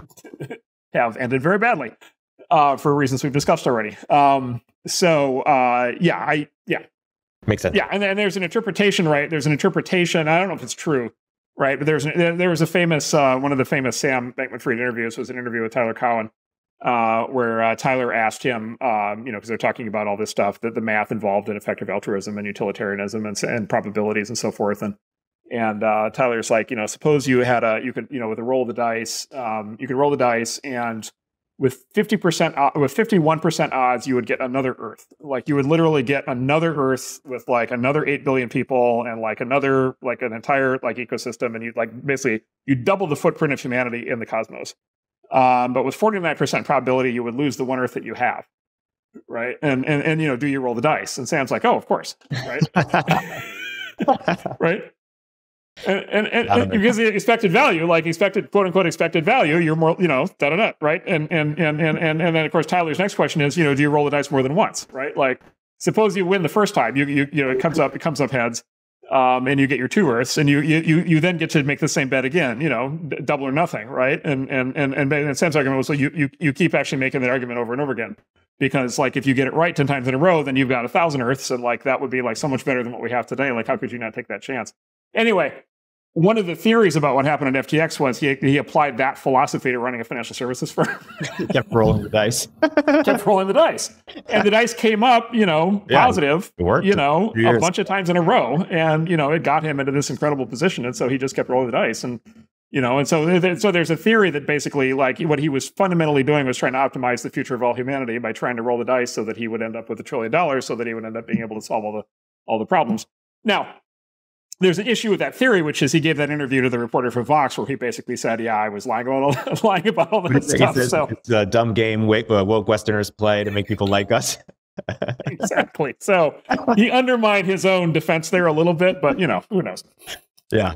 Um, I mean, another, another couple observations. One is, you know, Elon is is acting as a, as a lion to, to use you, you, the language you mentioned, but he's um, a meritocratic lion, not a you know I, I rule because I'm the best, not because of my family. And what's interesting, you know, Bobos in Paradise, Dave Brooks' book, uh, you know, chronicles how we moved from an aristocratic elite to a meritocratic uh, elite, but that same meritocratic elite also became most critical of meritocracy itself, uh, or most, uh, you know, and, and maybe as a way to deflect, or you know, or, or maybe just kind of reconcile, um, sort of this uh, this this idea that hey, um, you know, there are inherited advantages to if you have better we don't actually have equality of opportunity and if you have better and so anyways th- that's one interesting observation. The other observation i'll mention is um you know we mentioned how these billionaires who've been so successful so contrarian in their uh, private company lives um you know when it comes to the davos elite they have a lot of weird views uh, a lot of weird views about how people should live in their you know personal lives but then also um, you know kind of this uh, global government um, kind of kind of ethos um, and, and I'm curious how you um, kind of reconcile, you know, you're, you're a fan of immigration, you're a fan of mm-hmm. trade, you're a fan of globally connect, connected wor- you know, world, um, but, but you don't want glo- global governance. What, what is sort of the right um, framing of think, thinking about that? So a couple, a bunch of big questions in there. So let's start with, what, remind me the first, the first thing? Um, the uh, uh, meritocratic elite that yeah, yeah. denies meritocracy. Let's talk about that for a moment. So, so there's this guy. So there's a guy I kind of you can kind of trace this progression. So there's this guy James Conant, C O N A N T, and so he was a by the way he was an American. He was an American, you know, WASP elite, you know, out of central casting.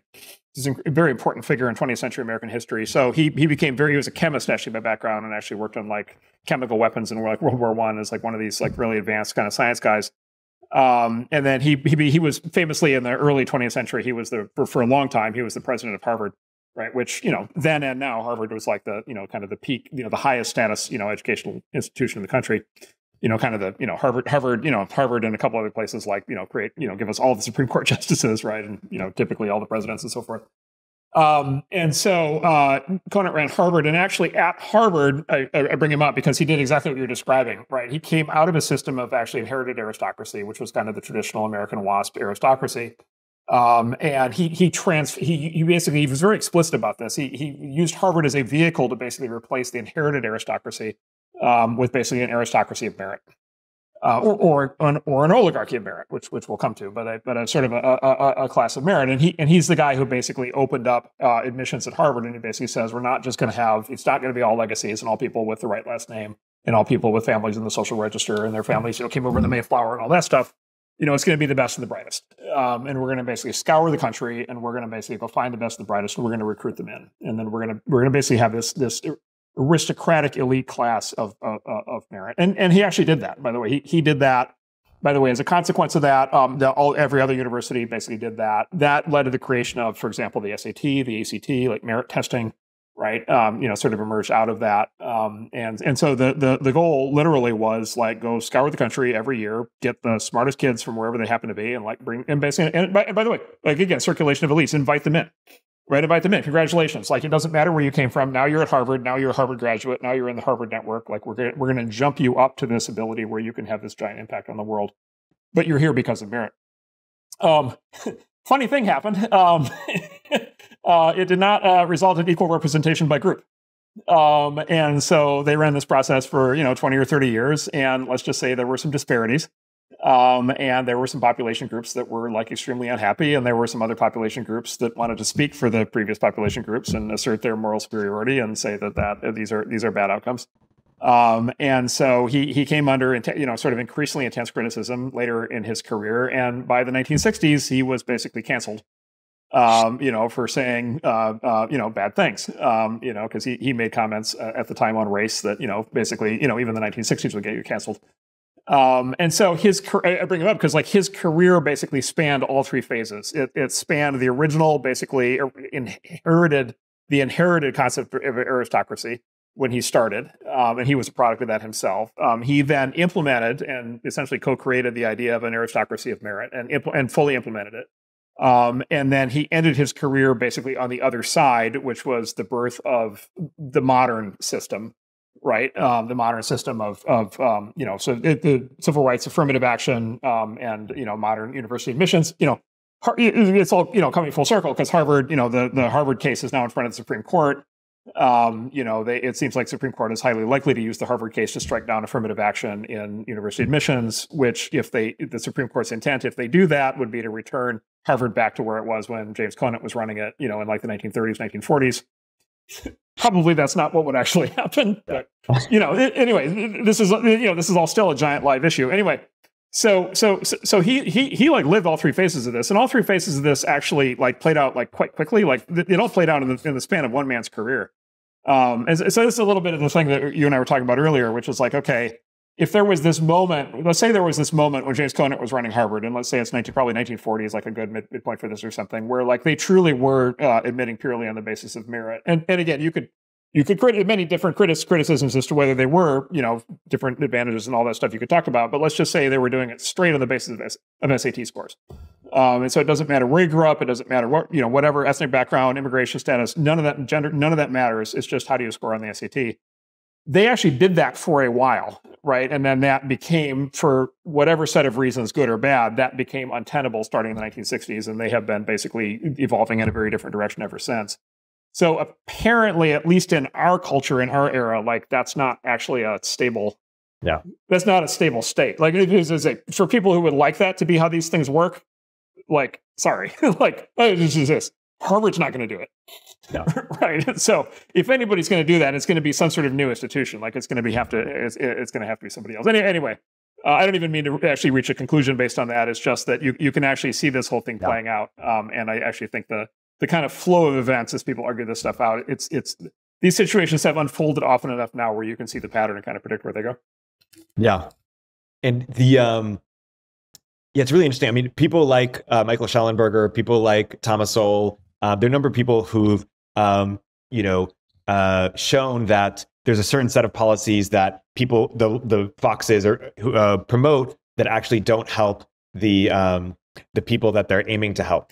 Um, and they recommend alternative policies, but those alternative policies um, kind of break a fundamental assumption that uh, you know all people are equal, or, or, or, or some fundamental assumption that people are uncomfortable with, and so they would rather have they would rather keep the fundamental assumption that kind of they, they think respects people's dignity or something than than get maybe the outcomes that, that they want. And it feels like that that fundamental assumption is so core to so many things.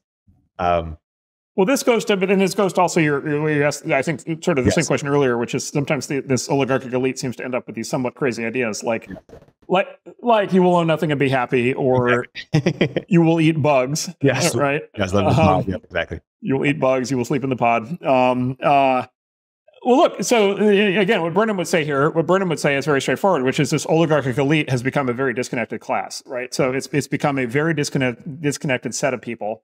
Um, it's a very small set of people. Um, they are sort of uh, there's a whole bunch of things. So first of all, they are actually often very high merit. They, they often actually are like quite smart. Um, it's not that they're dumb. Um, they have been educated at a relatively small number of institutions. Generally, you see a very high correlation to a certain small number of like Ivy, Ivy League universities and their international equivalents. Um, they associate primarily with each other. Like part of what you get when you join the oligarchic elite is you get like a set of friends, and your new set of friends are like much cooler than your old set of friends. Um, and so they associate with each other. Um, they kind of, by definition, don't invite people in who don't fit right? And so if you show up and you're like, "Wow, I really like that Tucker Carlson character, right? Isn't he great?" You know, you don't get invited to Aspen next year, right? So they they kind of box out. Um, you know, this is even before they classified all oppositional speech as hate speech and misinformation. Like even before that, it was like, look, you're going to have a certain set of points of view here if you want to fit in. Like it's a social dynamic. It's a social dynamic. It's a social club. Like any social club, people are expected to kind of all agree on things and to not not really argue about things, and certainly not do anything that would offend or horrify anybody. Um, and so it's like I don't know. It's like the opposite. It's like uh, what's the joke? It's a marketplace of idea. Yeah. Right? right, right. There's no real dispute that happens, right? There's no truth-seeking exercise. It's like we're all going to basically agree on the same thing. Um, and so, and then they just they live in rarefied air, and then you're, you know, a lot of them, you know, they're they're either rich or they have a lot of rich friends, um, and so you know they tend to live behind high walls. You know, they tend to be guarded by men with guns. Um, you know, they tend to not be subject to violent street crime. Um, by the way, you know, another irony, and Sowell and others have pointed this out. The other irony is they actually follow very bourgeois traditional life scripts on average. Yeah. Like most, you know, the, the, the most of the, you know, if they have kids, it, it's generally they're, you know, if if they have kids, it's generally they're married. They're, you know, they're raising their kids in in in, in uh, two parent households. Um, you know, they have very kind of stable family situations, um, and um, you know, they they they prize education. They teach their kids to work hard. You know they they follow a very kind of traditional even aristocratic by the way mating like they have very strong opinions on who their kids should like marry and and uh, reproduce with. Um, one of the you know enormous one of the reasons why there's so much focus on getting kids into these top colleges is because that's the you know that's the marriage pool. You know that's where the good people to marry are. So there's like a there's like a uh, you know a, a, a reproductive kind of component to it um, and so they, they live in this like rarefied, you know, it's like anything. It's like the, you know, it's like the, the courtiers at, at Versailles or something like they, they just, they live in this rarefied world. And so, you know, when something happens in the real world that is not as they predicted, like they, you know, again, to they don't have skin in the game, like they're not subject to the consequences. So let's just take a hypothetical example. Um, if they decide that the correct social policy to achieve true equality is to let all the criminals out of jail, hypothetically, um, and the result is like a massive surge in street crime that is victimizing like huge numbers of you know poor and disadvantaged people. Um, they are completely insulated from that. No. Right, They- have no risk. I, actually, no, I mean, I'll, I'll, I won't, I won't name names, as tempting as it is, but like I know people who are like, Yeah. you know, big funders of all of the pro-crime district district attorneys, and they really believe that they're going to like heal the nation and heal the world and achieve racial harmony if they let all the criminals out of jail um, and you know they are in my view responsible for like just this massive violent crime wave that's happening right now and they are then they literally have like seal teams protecting them Yeah. Right. So there's no like, you know, crackhead homeless person who's going to come get past your SEAL Team Six security guy, right? Like you're you're out. Like yeah. you're out. Like you're ruling a society, but with no accountability whatsoever um, for uh, you know for the results. And so yeah, so it, it's extremely easy. In fact, it, it, would be shocking if people in those circumstances did not get like radically disengaged. Uh, and disconnected from reality. And, and again, if you go back to your Machiavelli, that's where it's like the oligarchy. At some point, the, yeah. the, at some point, the people are just like, you know what, screw this, screw these people you know, um, and they at some point they show up with pitchforks and just kind of take care of the problem. Yeah. Um, to, uh, to to finish the, the, the analogy around you know, or sort of the tension between nationalism and, globalism, you know, in, some in some ways this is supposed to be the era of the sovereign individual, and yet it seems like, as we see saw during COVID, um, you know, governments are, adopting some of those technological advancements to um, you know control its people in in tightening and you know increasingly tightening ways and it, it, seems like this idea of global governance, global coordination to solve whether it's climate problems and nuclear proliferation, or you know what's going to happen with AI. God, for you know, um, it feels like that's that's becoming more and more vogue. And yet, you know, for people who are as, as you are excited about trade, excited about immigration, excited about global coordination, um, how do you kind of like reconcile those tensions or say, hey, you know, stop here?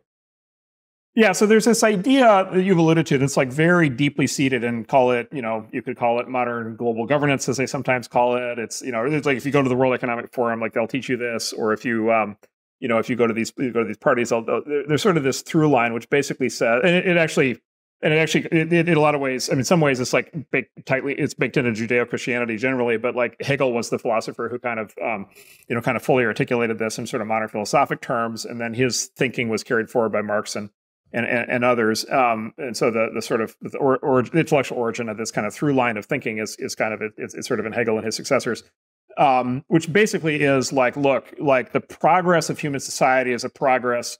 And by the way, this, sound, this sounds great, and there's certainly some truth to it. The, sort of flow of history is basically um, confronting problems and solving problems.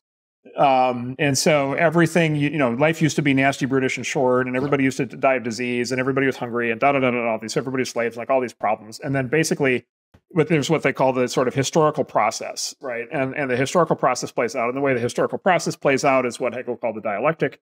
And the dialectic basically is, you know, you've got basically one theory for how things should work. Boy, they don't seem like they're working very well. You've got another theory on things you should do about it. You argue about that. And then you come up, you know, sort of thesis, antithesis, and then you come up with synthesis, and you kind of get to the answer. Right. And then and then basically you play out that answer. By the way, if it works, that's great. If it doesn't work, you repeat the process until you figure out the answer. But at some point, you figure out the answer right at some point the right set of smart people whether they're philosopher kings or you know democratic rulers or you know scientific experts right? At some point, they're going to run the experiments on how to optimize society such that they will ultimately, at some point, figure out the right answers. Um, now, imagine that you ran that process for hundreds of years, right? And you ultimately figured out the right set of answers. And maybe at one point, you know, you thought that that was, you know, Stalinism. Maybe at one point you thought that whatever, whatever. But like, you've arrived at a point where like it's like okay you know this is the the, the end of history thing the fukuyama like liberal democracy like we figured it out we figured it out we've solved the answers we have the playbook we have it you know the, the davos version of this is whatever global democracy thing that they have if you really have all the answers, right, then you have the ultimate moral imperative to impose those answers on the entire world. Because of course you do, because you have all the answers, right? Like you can solve all the problems, right? How if you had all the answers, let's suppose you had all the answers to how to organize society, how could you not impose those answers on the entire world? It's the only morally correct thing to do because if you don't do it, all these poor people are going to be suffering in all these completely unnecessary ways. And so therefore I have the answers, therefore I must impose them. Um, and so, you know, look, and, and this this was everything I just this is the intellectual foundation underneath communism. Like this was the story at the time. Um, this is the story behind the current Chinese form of communism. Like this, this is like a thing. This is like this, this, yeah. this, this idea has had a big impact on history.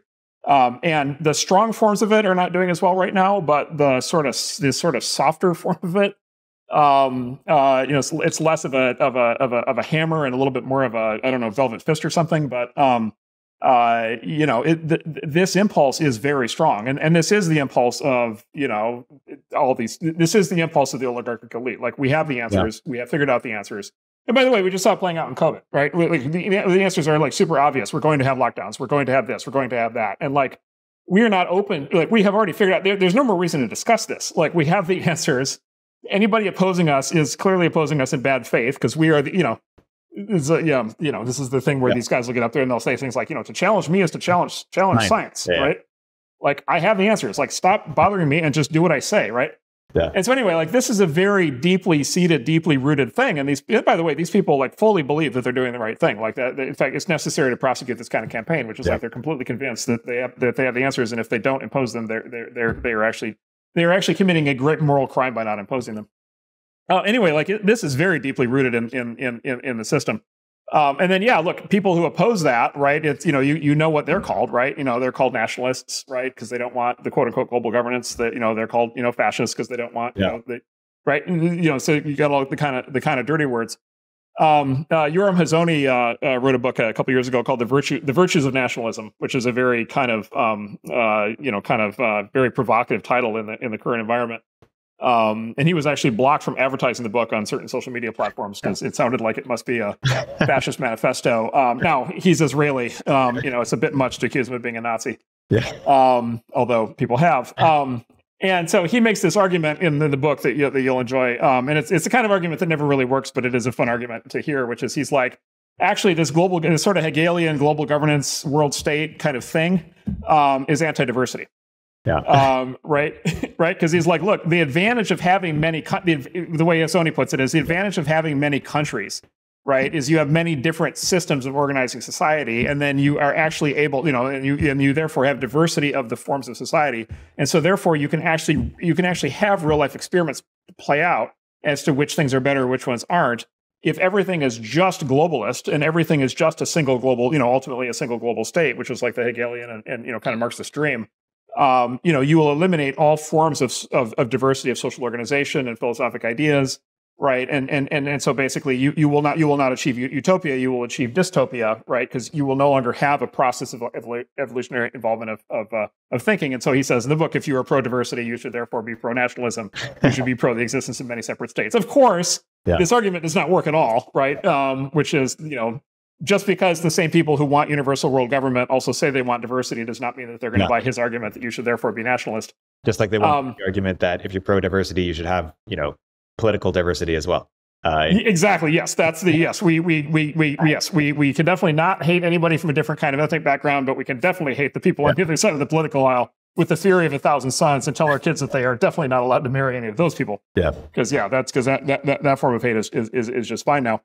Um, yeah, and so, but but anyway, I, I- go through all that because like that to your question, like that that is a massive like that is a massive you know kind of underlying question underneath a lot of this, which is like, do, do we want the entire world to run the same way?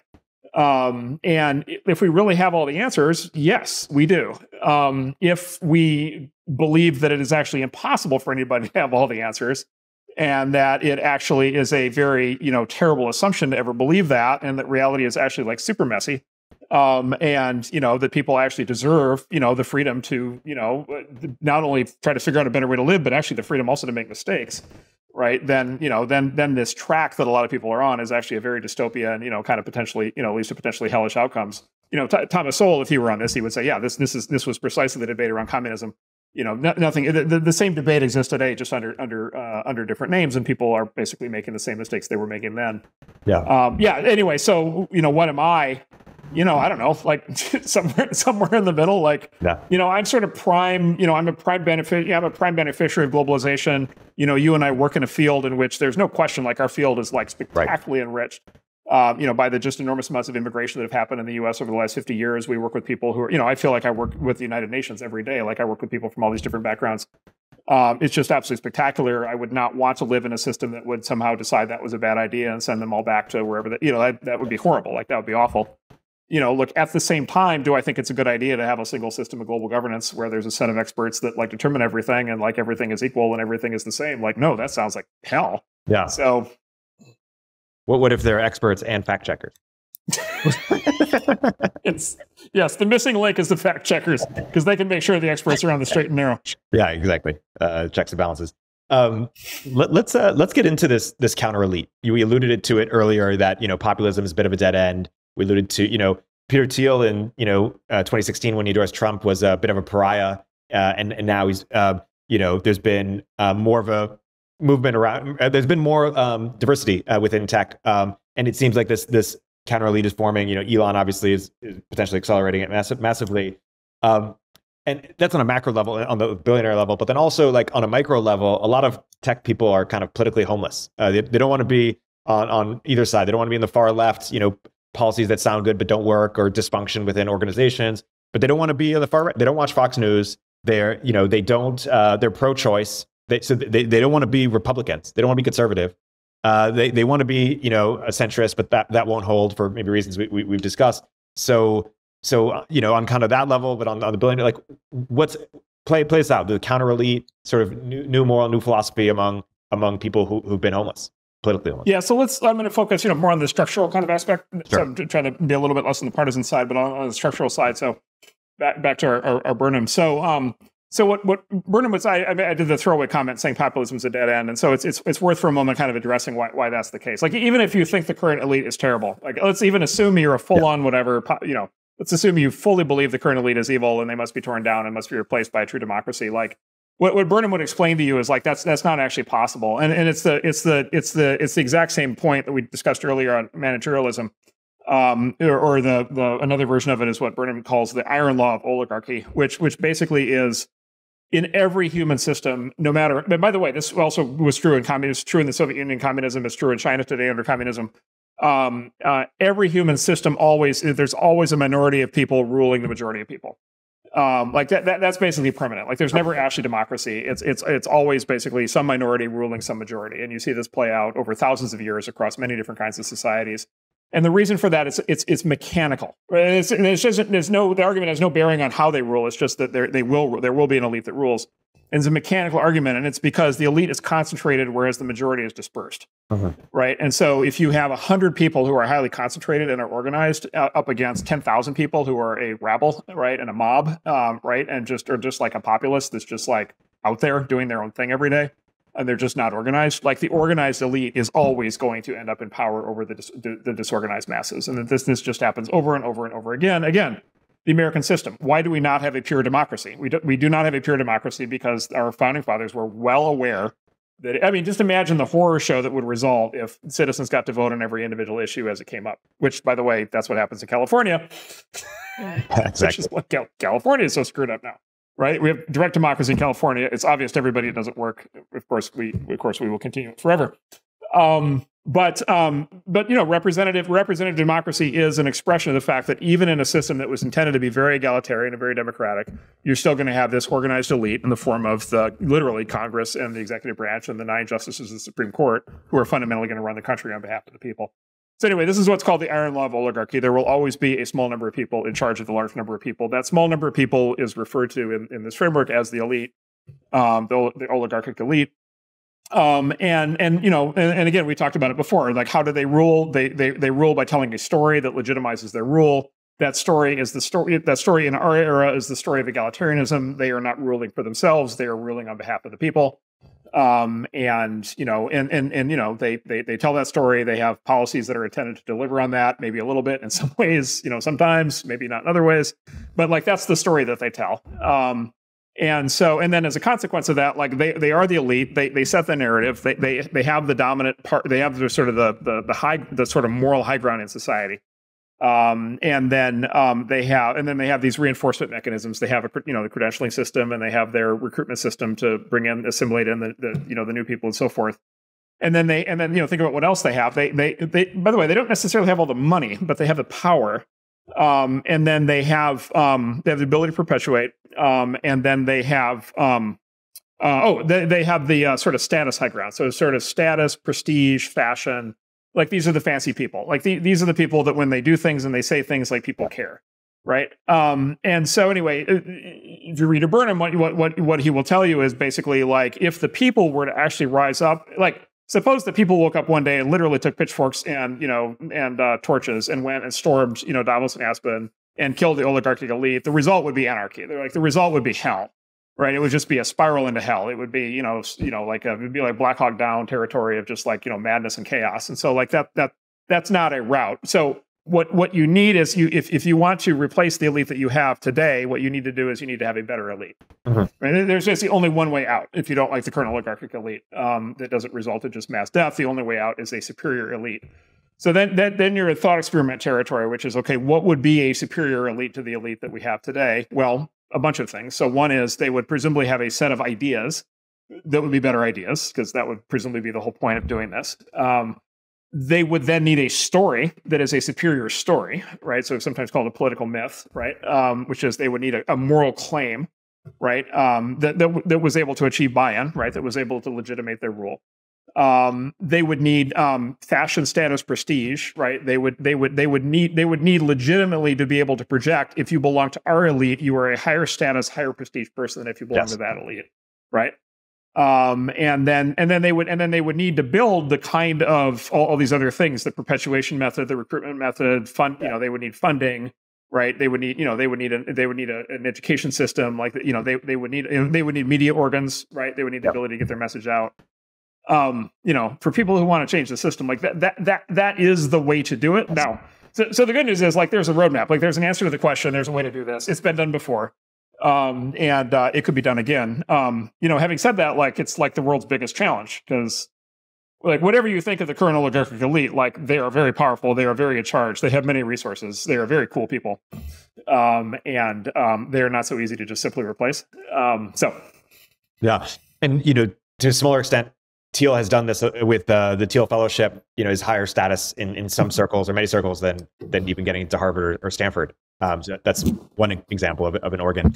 Um, if, if people are pursuing this in earnest, like on the on the ideas and and, and myth level, um, you know, let, us let's brainstorm. If, if you're open to it, you know, one track could be competence. Hey, hey, this you know, as, as we saw during COVID, et cetera, this this past elite has has been incompetent.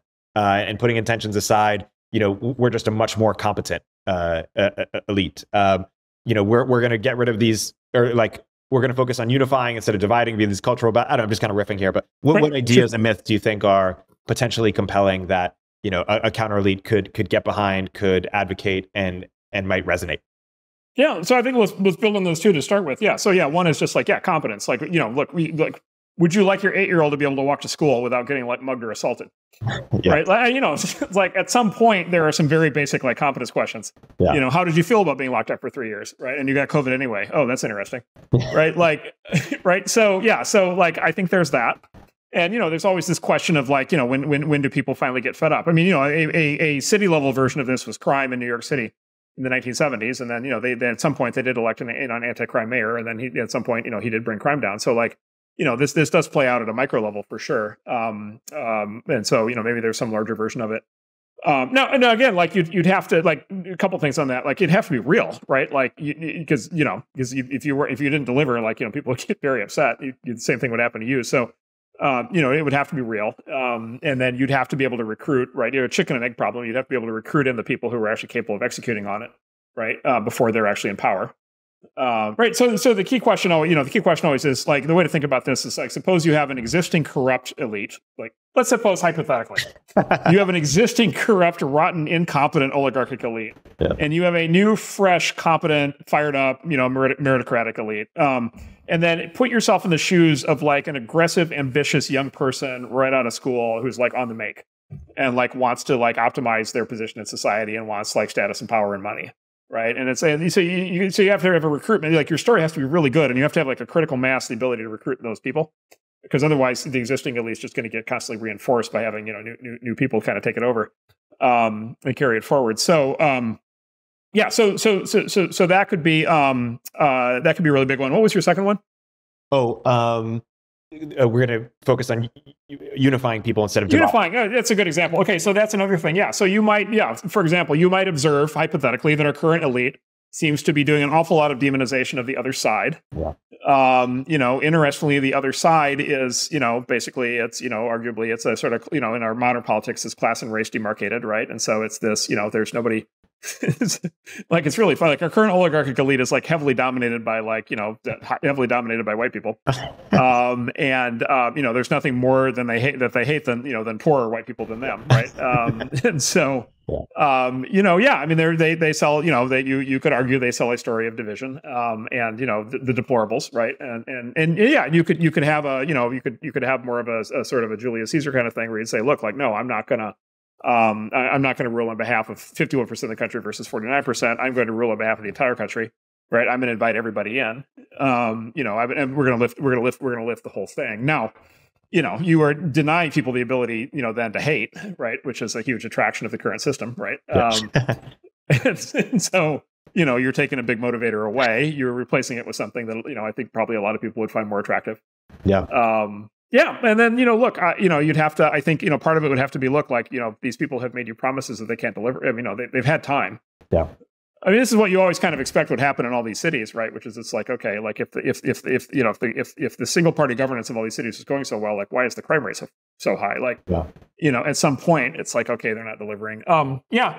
So you know, there's that. You you know, look, you'd have to challenge some sacred cows, right? You'd have to say, look, like you know, maybe we should not, you know, maybe we should not be trying to do the level of social engineering that's happening, right? Maybe it's a bad idea to have, you know, maybe it's a bad idea to have differential, you know, uh, you know, standards for different groups of people you know the, the, you know what the Supreme Court's about to do in the Harvard case. Like you know maybe you'd have to revisit some of those things. Maybe people are ready for that. Maybe they're not. Yeah. Um, yeah. I mean, look, it's this is the this is like the big macro.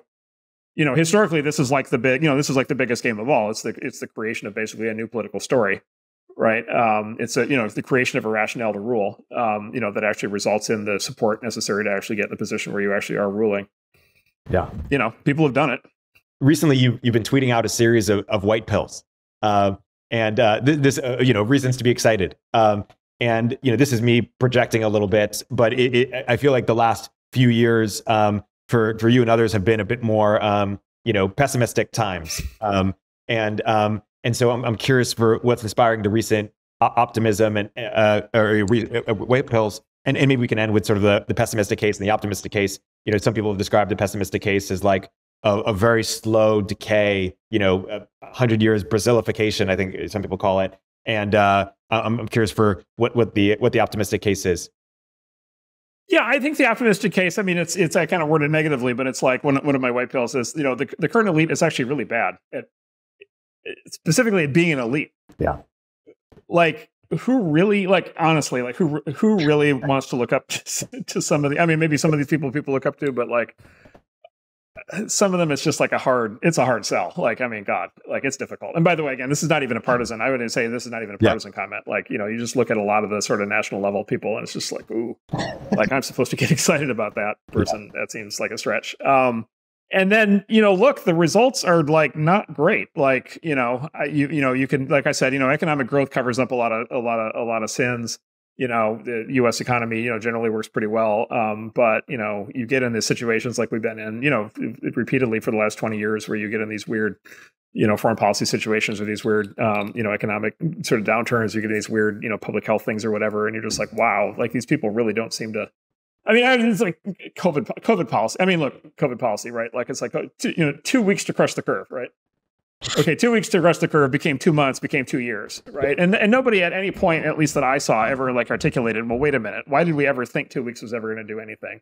Did we know that two weeks was like? Did we did, did we do two weeks knowing it was going to fail and it was going to be two months? So did, did, did like did you lie to us or were you incompetent? Yeah. Right. Um, and so just like every element of this, I mean, the mask, the mask thing alone, we could do like a whole podcast just on mask, but the whole mask thing alone, it's like the, the exact same people who in February 2020 were saying there was no reason at all for any, you know, any normal civilian ever be wearing a mask, you know, who, you know, within two months had it be basically the new, you know, holy face, you know, covering for all right thinking people. Like, and then they were on to like, oh, maybe we should all double mask and triple mask. And then here we sit three years later, and there are still you know schools that are forced masking their kids. Like, yeah. it's like okay, like whatever this is, like whatever these people think they're doing, like it's not, and then everybody gets COVID anyway, right? So, um, like apparently, like these people do not actually know what they're doing. They're not actually good at good at their jobs. Um, there, you know, there seems to be zero accountability. Like they seem to never get fired right? Like whoever gets, I, you know, it's just like all these things. Like Af- Afghanistan, you know, Afghanistan. You know, so we if, Afghanistan. They, they say policy. that we they say that we should forgive them. Uh, they, they, they yeah. yeah. right. Like the, you know, right, because you know, right, it's you know, slight morality because good intent, right, covers covers, you know, sort of explains everything. But like Afghanistan, like whoever got fired for Afghanistan, right, like. 20 years of like rule and leadership, right, of the whole Afghanistan campaign. And like, you know, we saw how it ended and the, you know, now we're countries back in, you know, it's like we were never there um, and this massive exercise and thousands of Americans dead and like lots of other people dead and all this like chaos and blood and the whole thing and stranded interpreters and like the whole thing and who you know who got fired like yeah you know so yeah so anyway so not to get specifically on these issues but um yeah so anyway like put it this way like if they're going to be the elites, they got to be good at being elites. Like they got to at least be good at being elites, right? Um, and at some point, it's like if they're not even good at that, like what are they actually good at? Yeah. Um, and so you know, at some point, like I said, at some point, I think people just kind of get fed up. Um, and then, and then look, the internet, you know, every, every, it's become very fashionable. And of course, nobody does this more than our current elites, but like it's very fashionable to dump on the internet for creating division and dissension and this and that, misinformation and kind of on and on and on. And the people who tell that story the most forcefully are our current elites who just absolutely hate being challenged. Um, and like, you know, look, the internet, the internet is, you know, as you, you well know, like the internet is subject to the constant censorship, censorship pressure at a level that would make Orwell blush.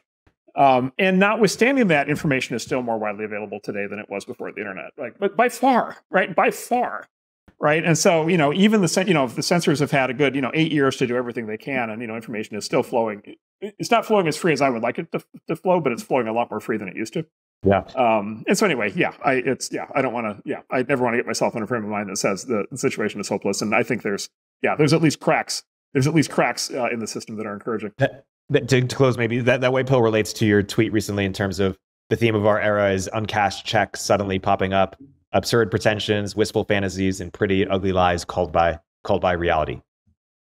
Yeah, it's like, look, if you're in power and you've got this story, right, and you can like sell these propositions and you can implement these policies, like at some point the results come in. Um, and you know, the longer conversation we could have about this another time, but like, you know, there are I mean, look, just just since the 1960s, 1970s, like there were a set of policies put in place in the 1960s, 1970s that made very specific promises.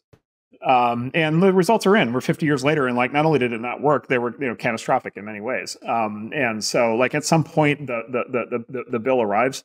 Um, you know, it does feel like an awful lot of you know bills are arriving. A lot of a lot of checks yeah. are a lot of people are trying to cash a lot of these checks. They're not. They're not. I mean, it, we could have a long conversation about education, but I mean, even even the you know, even the even the Gates Foundation, right, did this big uh, report last year where they did they did a retrospective study of 40 year 40 years of uh, philanthropic attempts to uh, improve education in the U.S. and, and the result of the report is nothing worked. Yeah. Right, like 40 years of promises, nothing worked. Um, budget per you know per student budget of education in the U.S. K through 12 rose 3x over the last 40 years in real dollars. Results didn't budge, right? And so, like the data's there, like the, the, the data's in, it doesn't work. The people running the system are terrible, um, you know, and for all the reasons that people already understand. Uh, I mean, it's become so obvious now, right? With you know, some of the some of the people in charge of these systems, um, and so yeah, I mean, the, the bill comes due now.